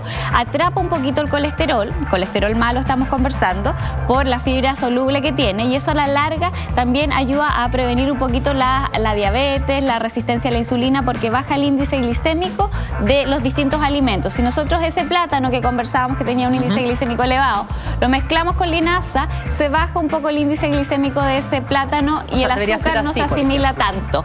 Claro. Por eso, por ejemplo, cuando hacemos estos típicos jugos de frutas que venden ahora y que son tan de moda, que son pura fruta con verdura, que lo único malo que tienen esos jugos que tienen un índice glicémico muy elevado, agregarle las semillas la, contrarresta un poquito eso, eso malo que tienen esos jugos. Catherine, detente ahí, señor director, música sexy, porque la pregunta más esperada de la mañana. ¿Es cierto que la linaza es un potente afrodisíaco? ¿Ah, sí? ¿Y a ti te pasan cosas cuando haces esto? Pero si le pasan cosas con la cáscara de tomate, imagínate con la nina, con la Esto para ti es afrodisíaco. Es un potente afrodisíaco, Catherine. ahí sí. Mira, en general eso tampoco está tan comprobado científicamente. No está se, comprobado. se dice que sí. ¿ya? Escúpela, escúpela. Se dice que sí, pero en general hay gente que sí le resulta, entonces en ese caso obviamente que habrían que hacer más estudios al respecto. Excelente. Ahí se lo está sacando. Me quedó una linaza una en el el diente, ¿ah? diente. Con el Muy lápiz, poco- Muy poco afrodisíaco. La linaza tiene más o menos parecido a la chía. Si la gente conoce la chía, son Sí. muy parecidas y la linaza es mucho más barata. Entonces, en Sí, general, cara. es una buena opción para sustituir los beneficios que tiene la chía, que son más o menos parecidos. Katy, te pasaste. Un millón de gracias por enseñarnos a no botar la cáscara del tomate, también del plátano y por supuesto este superalimento que es la linaza. Pero atención, amigas, porque esto les va a interesar. Es impresionante la cantidad de autos que se robaron el año pasado en nuestro país. 102 automóviles diariamente fueron robados el año 2015. En total, 37.317 unidades. Cifras que la verdad son sorprendentes y que documentamos en la siguiente nota. Hola Chile.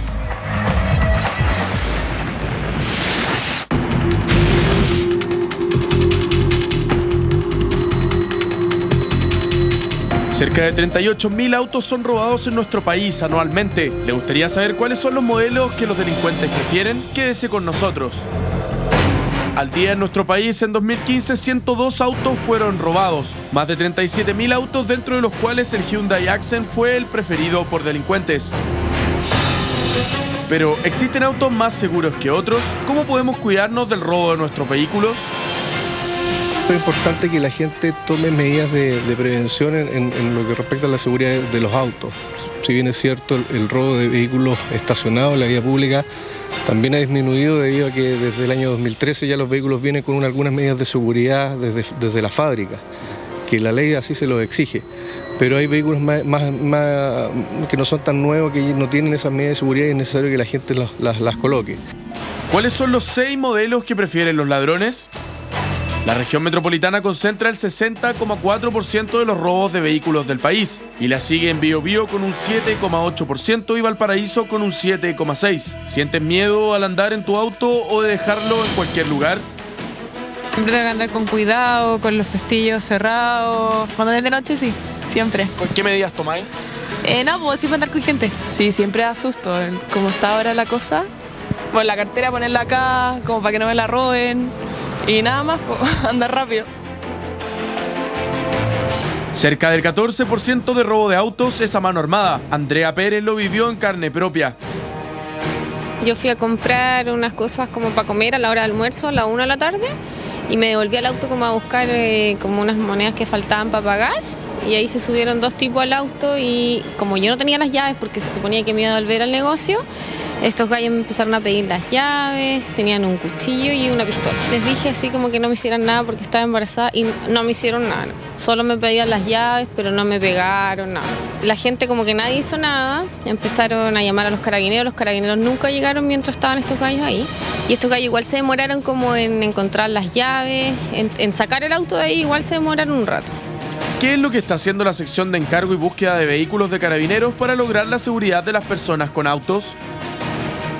Nosotros no tan solo nos preocupamos eh, de la cifra estadística, sino que también del caso a caso.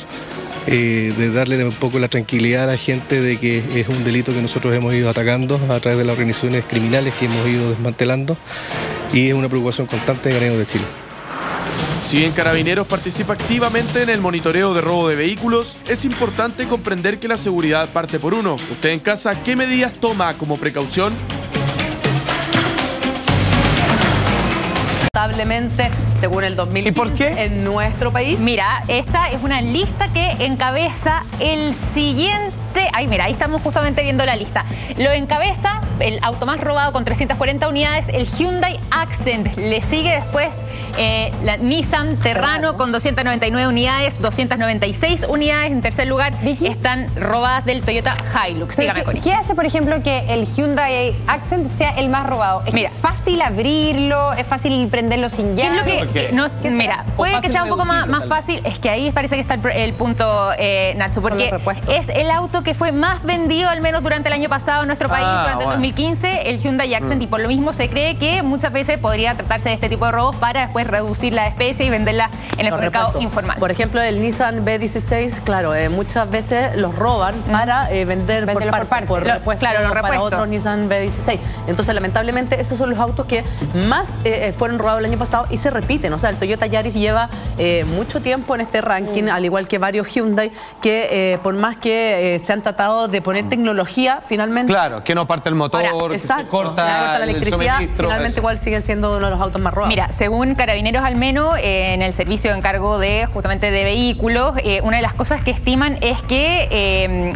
bueno, principalmente este tipo de robos se eh, ocurre no solamente en los portonazos que nosotros habíamos eh, visto durante el año pasado, que se pusieron un poco de moda, por decirlo de alguna manera, sino que más que nada en autos estacionados. Y si bien se han tomado medidas como, por ejemplo, cortacorrientes, volantes, aún así siguen liderando con un Otra más rueda. 75% de los robos. Es decir, de cada cuatro autos que son sustraídos en nuestro país, tres de ellos son autos que están estacionados principalmente en la calle. Oye, pero esta Ah, aplicación que, Salfa, yo creo que tú quizás puedes Mm. saber mejor, hay una aplicación que creo que da súper buenos resultados, porque generalmente te roban Sí. el auto cuando está estacionado. Es y una tú inversión mínima. Lo puedes, claro, es una inversión súper barata, o sea, no sé si súper barata, pero tú lo bloqueas desde tu auto y el, el auto para en la Absolutamente. mitad. de hecho, mira, tiene dos funciones. Ge- Generalmente uno lo hace en servicios que no son donde uno compra el auto, sino que son especialistas para estas condiciones. Se le instala un sistema donde, así como las casas inteligentes, tú puedes, así como interrumpir el circuito eléctrico, también eh, la entregada de benzina de parte del auto y finalmente no funciona. O sea, tú dejas que te roban el auto. El auto no anda. Eh, y claro, y más rato, así cinco minutos más allá, pum, pues tú lo detienes, mm, se va a quedar en pana. Y mientras tú, junto con un sistema de GPS, sabes exactamente a cuántas cuadras quedó, mientras llama a la policía o a las personas encargadas para que vayan a su recuperación. ¿Cuánto vale más o menos una aplicación así? Porque de verdad que te Mira, soluciona el hasta tema. lo- mira, yo no lo tengo, pero hasta lo que tengo entendido, creo que vale un costo mensual que no supera los 20, 15 mil pesos más o menos. Oye, Igual es No alto. está- o sea, claro, Igual es pero, pero se soluciona el problema, no te lo van a sacar ni nada.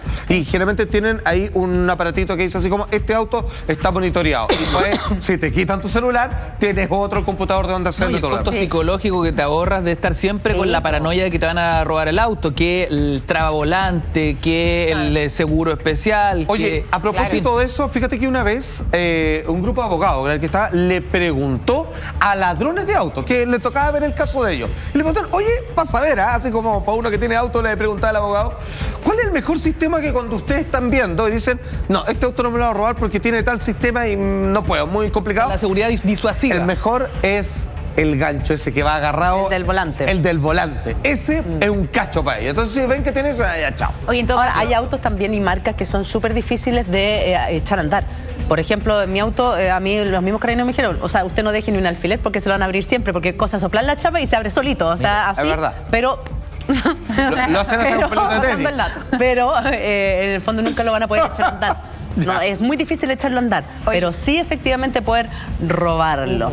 Ahora, ya sabe cuáles son los autos más robados, lamentablemente. Hay que estar siempre constante ahí el ojo al charque para que no sea víctima de la delincuencia. Pero si usted lo tiene estresada, todo este mundo loco, loco en el que estamos viviendo, convulsionado, como diría mi amigo Ignacio, entonces ponga atención, porque la nueva moda entre las mujeres jóvenes como nosotras es precisamente tejer. Vamos a la nota y volvemos. Hay grupos de tejidos.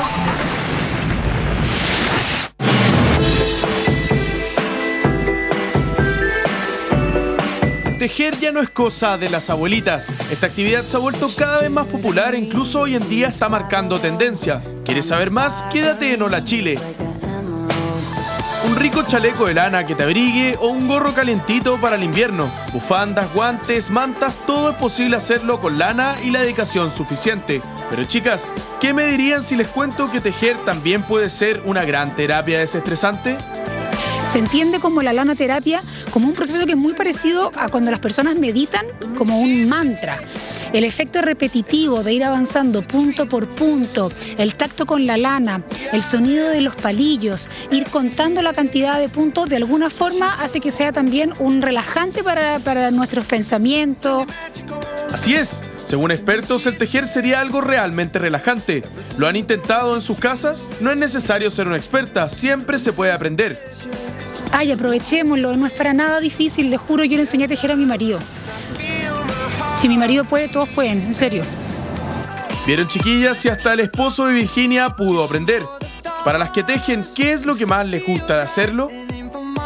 Tejer a crochet, a palillo de lana y pintar es antiestrés. Tú te vuelas y te imaginas y empiezas a crear. Se pasan todas las penas con los palillos. Con palillo, crochet, yo hago las dos cosas. Telar. Ha sido mi, mi remanso después que uno empieza a quedar solita. El placer de hacer algo bonito para tus nietos o para tus hijos cuando ellos eran más chiquititos. Les tejí mucho. Fíjense que existen talleres en los que se puede aprender a tejer y me creerían si es que les digo que gran parte de las que van son jóvenes de menos de 25 años. Increíble ver la cantidad de gente que llega acá joven, eh, que es también la que está empujando un poco más el mercado y la que está exigiendo más. Cada vez más jóvenes se están atreviendo a dejar de lado el celular y permitiendo volar su imaginación para hacer lindos accesorios para vestir a la moda. Tú en casa, ¿qué estás esperando? Ay, ay, ay, qué rico. Oye, qué, increíble cómo se van contrarrestando los- los- los- las tendencias, ¿no? Tengo un problema de linaza, cayó. Con tomate se va. ¿Sabes lo que pasa? Que antes hablábamos de la mujer empoderada, que quería estar en el mundo del trabajo, tejer no, bordar no, cocinar menos. Sin embargo, hoy día hay una tendencia del regreso a estas labores como de la abuelita, ¿no? Precioso. Porque hay Pero que una... no son excluyentes. No, po. porque también o hay sea, un- como que se combinan. Pero que Pero se necesita tiempo para eso. No, no, tú ¿No? eres, por ejemplo, puedes ser una alta ejecutiva, pero cuando estás en tu casa, por ejemplo, para relajarte, eh, viendo las noticias, uno está tejiendo. Pero ¿en cuánto tiempo hace una bufanda? Es que depende de cuánto depende tiempo qué tan rápido también- tejido, qué tan rápida eres para tejer. El pero tipo de no punto. No, perdona, y depende El del de palillo, punto. porque este palillo no sirve de nada. ¿Ah? ¿Qué punto está haciendo Julio? El único que sé hacer. Punto cruz. Punto arroz. Punto arroz. Punto arroz. O el correteado. El Son los corre más- día la que maneja. salpa. Mira, yo tejo puro cuadradito porque nunca aprendí a hacer un nada. Pero ¿sabéis qué? Es súper terapéutico y me encanta sacar el tejido a mí. Uno, uno como que saca el tejido y empieza el pelambre. Ah. Es como así. Ah, es un fenómeno. Es un fenómeno. Grupo de mujeres, por ejemplo. Mira, A ver, A Julio, ver, tráelo acá. A ver. Con las chiquillas aquí. Oye, yo no tejo hace un montón de años, pero tengo muchas amigas que lo hacen. ya, Aquí estos dele. palillos. Esos palillos son del terror. ¿Vicky teje? ¿Ah? Sí. Uno saca el tejido y como Oye, perro, a relajarse. 7-0, Mira, compadre. eh, ¿ah? Acá la chela. 7-0, compadre. Acá la chela y estamos. Una Al revés, po, piscolina, un perro. Así ya, ya estamos 11 de la mañana, empezó el mediodía. ah. A ver. Ya, pero tú cachai que el otro día el Nacho en, el canal lo que hizo, ¿no? No, ¿qué hizo? El Nacho Franzani, po. ¿no cachaste? ¿Qué? ¿No te contaron la chiquilla de A ver, cuéntame. No, no Espérate, sé, yo lo- espérate, déjame Ah. pasar el punto, déjame pasar el punto y me contáis. Se sacó el pantalón pitillo. No. Ah, no, pero qué mal, porque se le, se le dé buen potito con pitillo. Sí, ¿Sabéis lo que me dicen a mí? Que el pitillo tiene una esponja. Oye, mira el tejido de la Vicky. No. Es que ¿sabéis qué? Estos palillos no, estos palillos son Oye, terribles. ¿Y supieron De de madera. ¿Qué pasó con Yerko? Yerko. ¿Supiste lo de Yerko? No, ¿qué ¿con pasó? Que iba a ser un móvil hoy día. Ya, y. Y se le cayó el móvil. Oye, oye, espera, es que yo quiero mostrar el tejido de la Vicky. no, pues Vicky. Oye, el bowling. ¡Qué horror! Pero mira, mira el mío, compara el mío con el de la Vicky. Oye, el pelambre está bueno. Es que, es que estaba muy bueno el pelambre. Estaba muy bueno el cagüín. Pero sabes que fuera bueno. chiste, hay mucho, yo, yo te conozco muchas amigas y sobre todo jóvenes que se juntan incluso en casas con un traguito, las chiquillas, a tejer. ¿Y, y qué sale de ahí? Cualquier cosa. Cualquier medio cosa. carrete. Mira, tenemos Twitter. Mira. Mientras la Connie trata de arreglar lo que hizo la Connie, dice lo Mira. siguiente, Oh, Cintia. Me mira. encanta tejer. Este es mi primer cubrecama. A crochet te pasaste, Cintia. Un aplauso. No, pero. Pero se pasó. A mí me encantan los cubrecamas a, a crochet. Ya, pero Son eso- maravillosos. Pero eso. ¿Cuántos años más o menos está listo? a mí me enseñaron, pero yo no aprendí el crochet. No me complica. Es que Prefiero me- el tejido. Pero ¿sabes Es que qué? mira, Estos palillos están muy difíciles. Pa- Palillo de madera, bonito, pero complicado. Mira, sí, es que queridas amigas, las invitamos a mandarnos sus fotos a todas las que tejen para mostrarnos qué es lo que son capaces de hacer. Yo, puro cuadradito. Cuadradito para la A ver. alianza, cuadraditos. Mira, por ejemplo, el siguiente Twitter. Oh. Oh, te pasaste, Vivi. Son artistas. Oye, aplauso para artistas. Vivi es una profesional. No, te Oye. Vivi, puede- o sea, Vivi se puede poner con una pyme ahí y le queda Absoluta. impecable. Además que está de moda todo lo que es tejido como artesanal. Mucho. No, Mira, no, sí, sí. lo arreglé. La Connie, la Connie no me puede pelar Mira más. el hoyo, La deja Connie, el hoyo. Porque, porque la Vicky sacó como cinco Oye, pero es un puntos. verdadero surullo. lindo. No cocina, no teje, no. Oye, ahora sí que sí. No, mira, lo que pasa... Quedó con hoyo, tenés que desarmarlo. Sí, porque la Vicky había sacado como Pero cinco desármalo. Mira, ahí está. Mira, tomemos el... Espérate, No es que ¿sabéis lo que pasa? Que estos palillos de madera son lindos, pero son los más inútiles que hay. Yo solo voy a decir una cosa. Lean el GC. Mujeres jóvenes Mira. se suman a la moda de tejer. Somos Mira, mira, cronómetro. ¿Cuántos, ¿Cuántos puntos hago en un segundo? Mira, mejor vamos a ver el siguiente Menos Twitter uno. que dice así. Ay, te pasaste, Josela. Yo con ayuda de YouTube hice este gorro para mi hija. Qué Te lindo. pasaste, precioso. Ah, qué bueno. para Josela. Ah, claro, muchas personas aprenden a Tutoriales. tejer tutoriales en YouTube. Qué bonito. Ya. Sí, Además Mira. que lo rico es que tú elegís la lana eh, y, lo, y lo hacís como más artesanal y te queda precioso y, y Julia. además de precioso, único. Julia, te desafío. ¿A qué? Julia, te desafío. ¿Que no lo estáis haciendo muy rápido, mira. ¿Qué, qué, qué, estáis muy rápido? Oye, la cuestión. ah, Pero, pero estáis puro leche. Salfate, me estáis haciendo mala La campaña. Pero es que mira, pero ¿qué estás haciendo? Me decís que soy guatona, que No, cuatro ¿cuándo has meses. dicho eso? Me decís que parezco de cuatro meses. No, pero a mí me gusta así. Testigo. Me decís que soy pelúa. Ya. que no Pero a mí me gustan nada. las dos. Mira, vamos no a hacer algo. tejer. Por mal hablado, este va a ser el regalo matrimonio de parte de nosotros tres para ti. Una bufanda. Pero que es como, es como una pulsera así de silachano. No. Tenemos más amigas en Twitter que nos cuentan eh, qué hacen en sus horas de tejido. Mira qué bonito. Mira. Mira, la cervecita terminó convertida. ¿Qué es eso? ¿Eso es para ir a la ¿Qué es cerveza? un termo? Para... No, yo. Uy, Ah, está bueno eso, dice. Esta es mi mejor terapia, ya que vivo lejos de mi familia. Es que es una Saludos. terapia, sí. Al igual que Don Igüe. Bordar. Ah, bordar. tremendo a el nuestros amigos de. Doña qué buena. Pero mira, bordar, el crochet, el tejido es súper Oye, terapéutico. y esas cositas que estaban en la mesa para poner así como un florero, que. También, pues, Qué sí, bonito era. Mi abuelita Yo tengo hacía. un montón de amigas que lo hacen justamente para desestresarse. Dice que después de la pega agarran el tejido. el que era un y clásico era ese cambuchito de, como de lana para, el papel higiénico. ¿De veras? Pero el papel ¿Y higiénico. por qué era para que no estuviera tan frío la hora de.? No, porque no, no podéis dejar el papel higiénico ahí encima. no, para que no feo. Entonces se Eh, tapaba. Sutileza. Claro, se tapaba. ¿Ves tú? Perfecto. Oye, Salfati, hablando Maestro. de eso, estamos eh, el Pele 20 nomás. de junio. Vamos a pelar salfate. Se nos viene el Oye, 24, gran día. Por Dios, qué bonito el 24 de junio, ¿ah? Me amo. Estoy- Además de que yo estoy de cumpleaños, el Oiga. 23 para el 24. ¿Cuántos años cumplí, Juli? ¿40? No, nos queda A ver, un año todavía. Cumplimos Volví a decir 39. que cumplo 43 y te voy a ir a golpearte el switch. Eso nomás. No, jamás. No 43, pero no. Cumplo 38. Eh, No, no, 38. mentirosa. 39. Del 20 Lo importante no es mi edad, porque me conservo como el vino. Eh, Como el, Como el claro. Como el pipeño. lo importante es que del 23 al 24 se celebra la noche de San Juan. Oh, y hay una verdad. serie de ritos que se pueden hacer, Salfate. Absolutamente, fíjate que esto ha sido traspasado de generación en generación. A no dudar que esta noche, esta víspera del 24, que es donde todos los Juanes estamos de santo, muchas personas quieren saber cómo va a ser su futuro, cómo va a ser el resto del año. En términos de amor, en términos de salud y por supuesto en términos de platita. No solo eso, algunos aprovechan, atención, de limpiar sus amuletos. Hay una forma poco conocida que solo se hace en la noche de San Juan, que usted agarra el San Benito, agarra usted su amuleto preferido y lo puede limpiar, quitándole todas las malas vibras para que quede completamente reseteado. Mañana un especial de Juan Andrés Alfate en Hola Chile, donde nos va a explicar cómo limpiar su amuleto y qué ritos hay que hacer precisamente esta noche del 23 al 24. Exacto. Tenemos Twitter, dice lo siguiente. No te Oh, pasa. qué bonito. Se pasó. Wow, me encanta tejer, dice nuestra Eso amiga. es talento, ¿ah? Porque- Sí, pero ya es talentosa. Oye, es que Claro, pero la Connie no importa. Oye, pero la Connie, la Connie ya no me puede pelar más. ¿Por qué? Porque. Mira, medio No, hoyo. está. Tiene un hoyo así. avanzando.